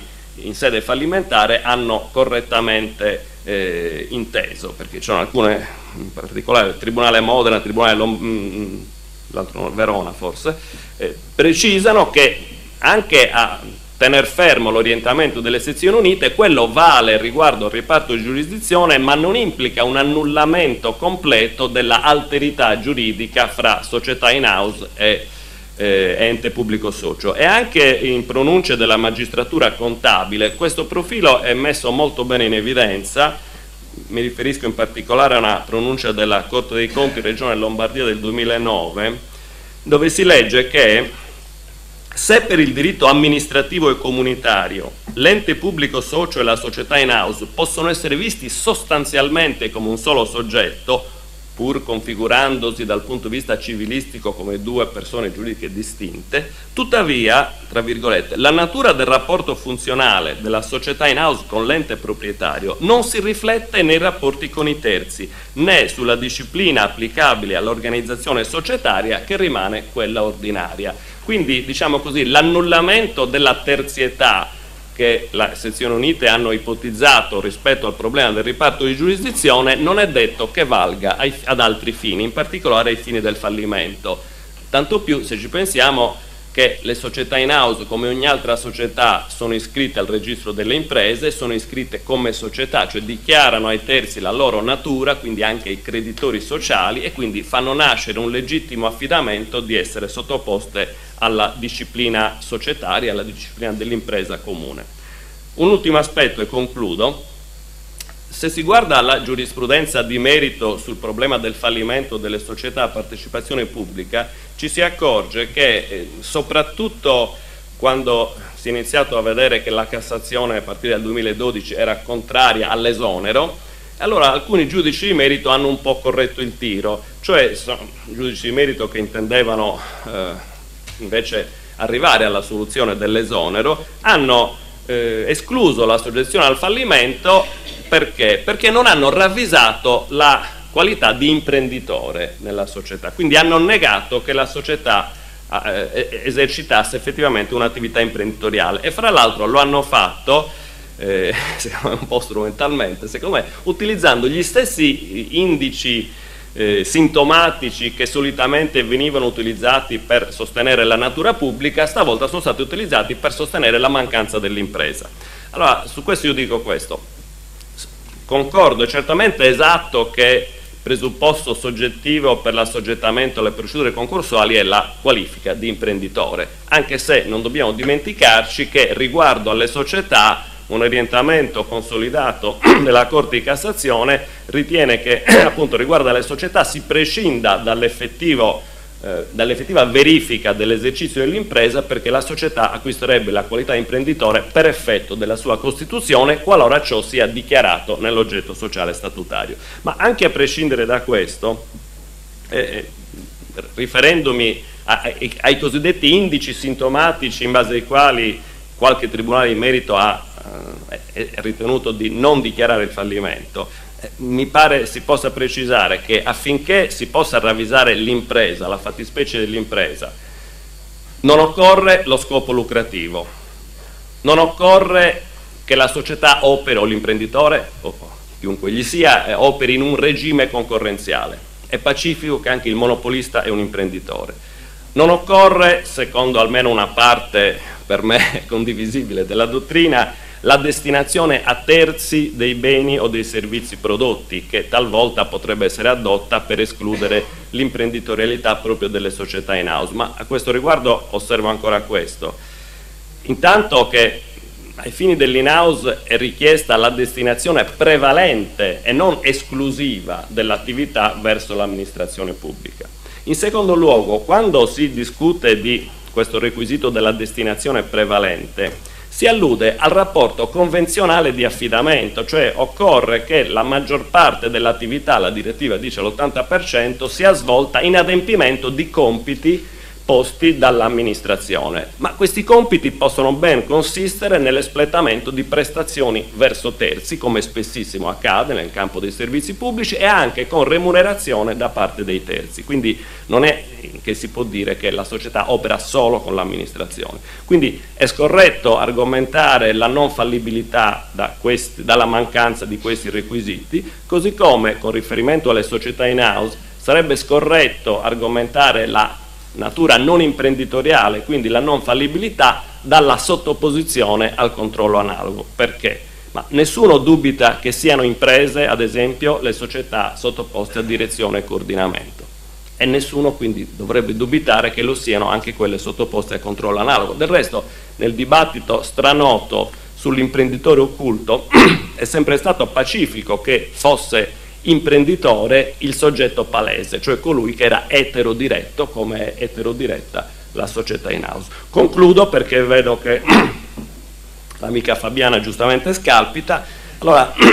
concludo dicendo questo, è chiaro che la Corte di Cassazione, in particolare le, le sezioni unite, eh, non possono cambiare orientamento per così dire a, ad ogni stormir di fronda, però nel caso nostro mi sembra che eh, si registri una importante innovazione normativa successiva rispetto alla decisione del novembre scorso che è appunto la già più volte ricordata direttiva sugli appalti pubblici che ha codificato una nozione di in-house sensibilmente diversa e certamente più soft e quindi più allargata di quella posta alla base della decisione del novembre scorso. Quindi, eh, dove si parla di semplice influenza determinante sugli obiettivi strategici, eccetera. E quindi, a mio avviso, alla luce di questa direttiva, eh, non è sbagliato sperare che l'indirizzo inaugurato nel novembre scorso possa essere rimeditato.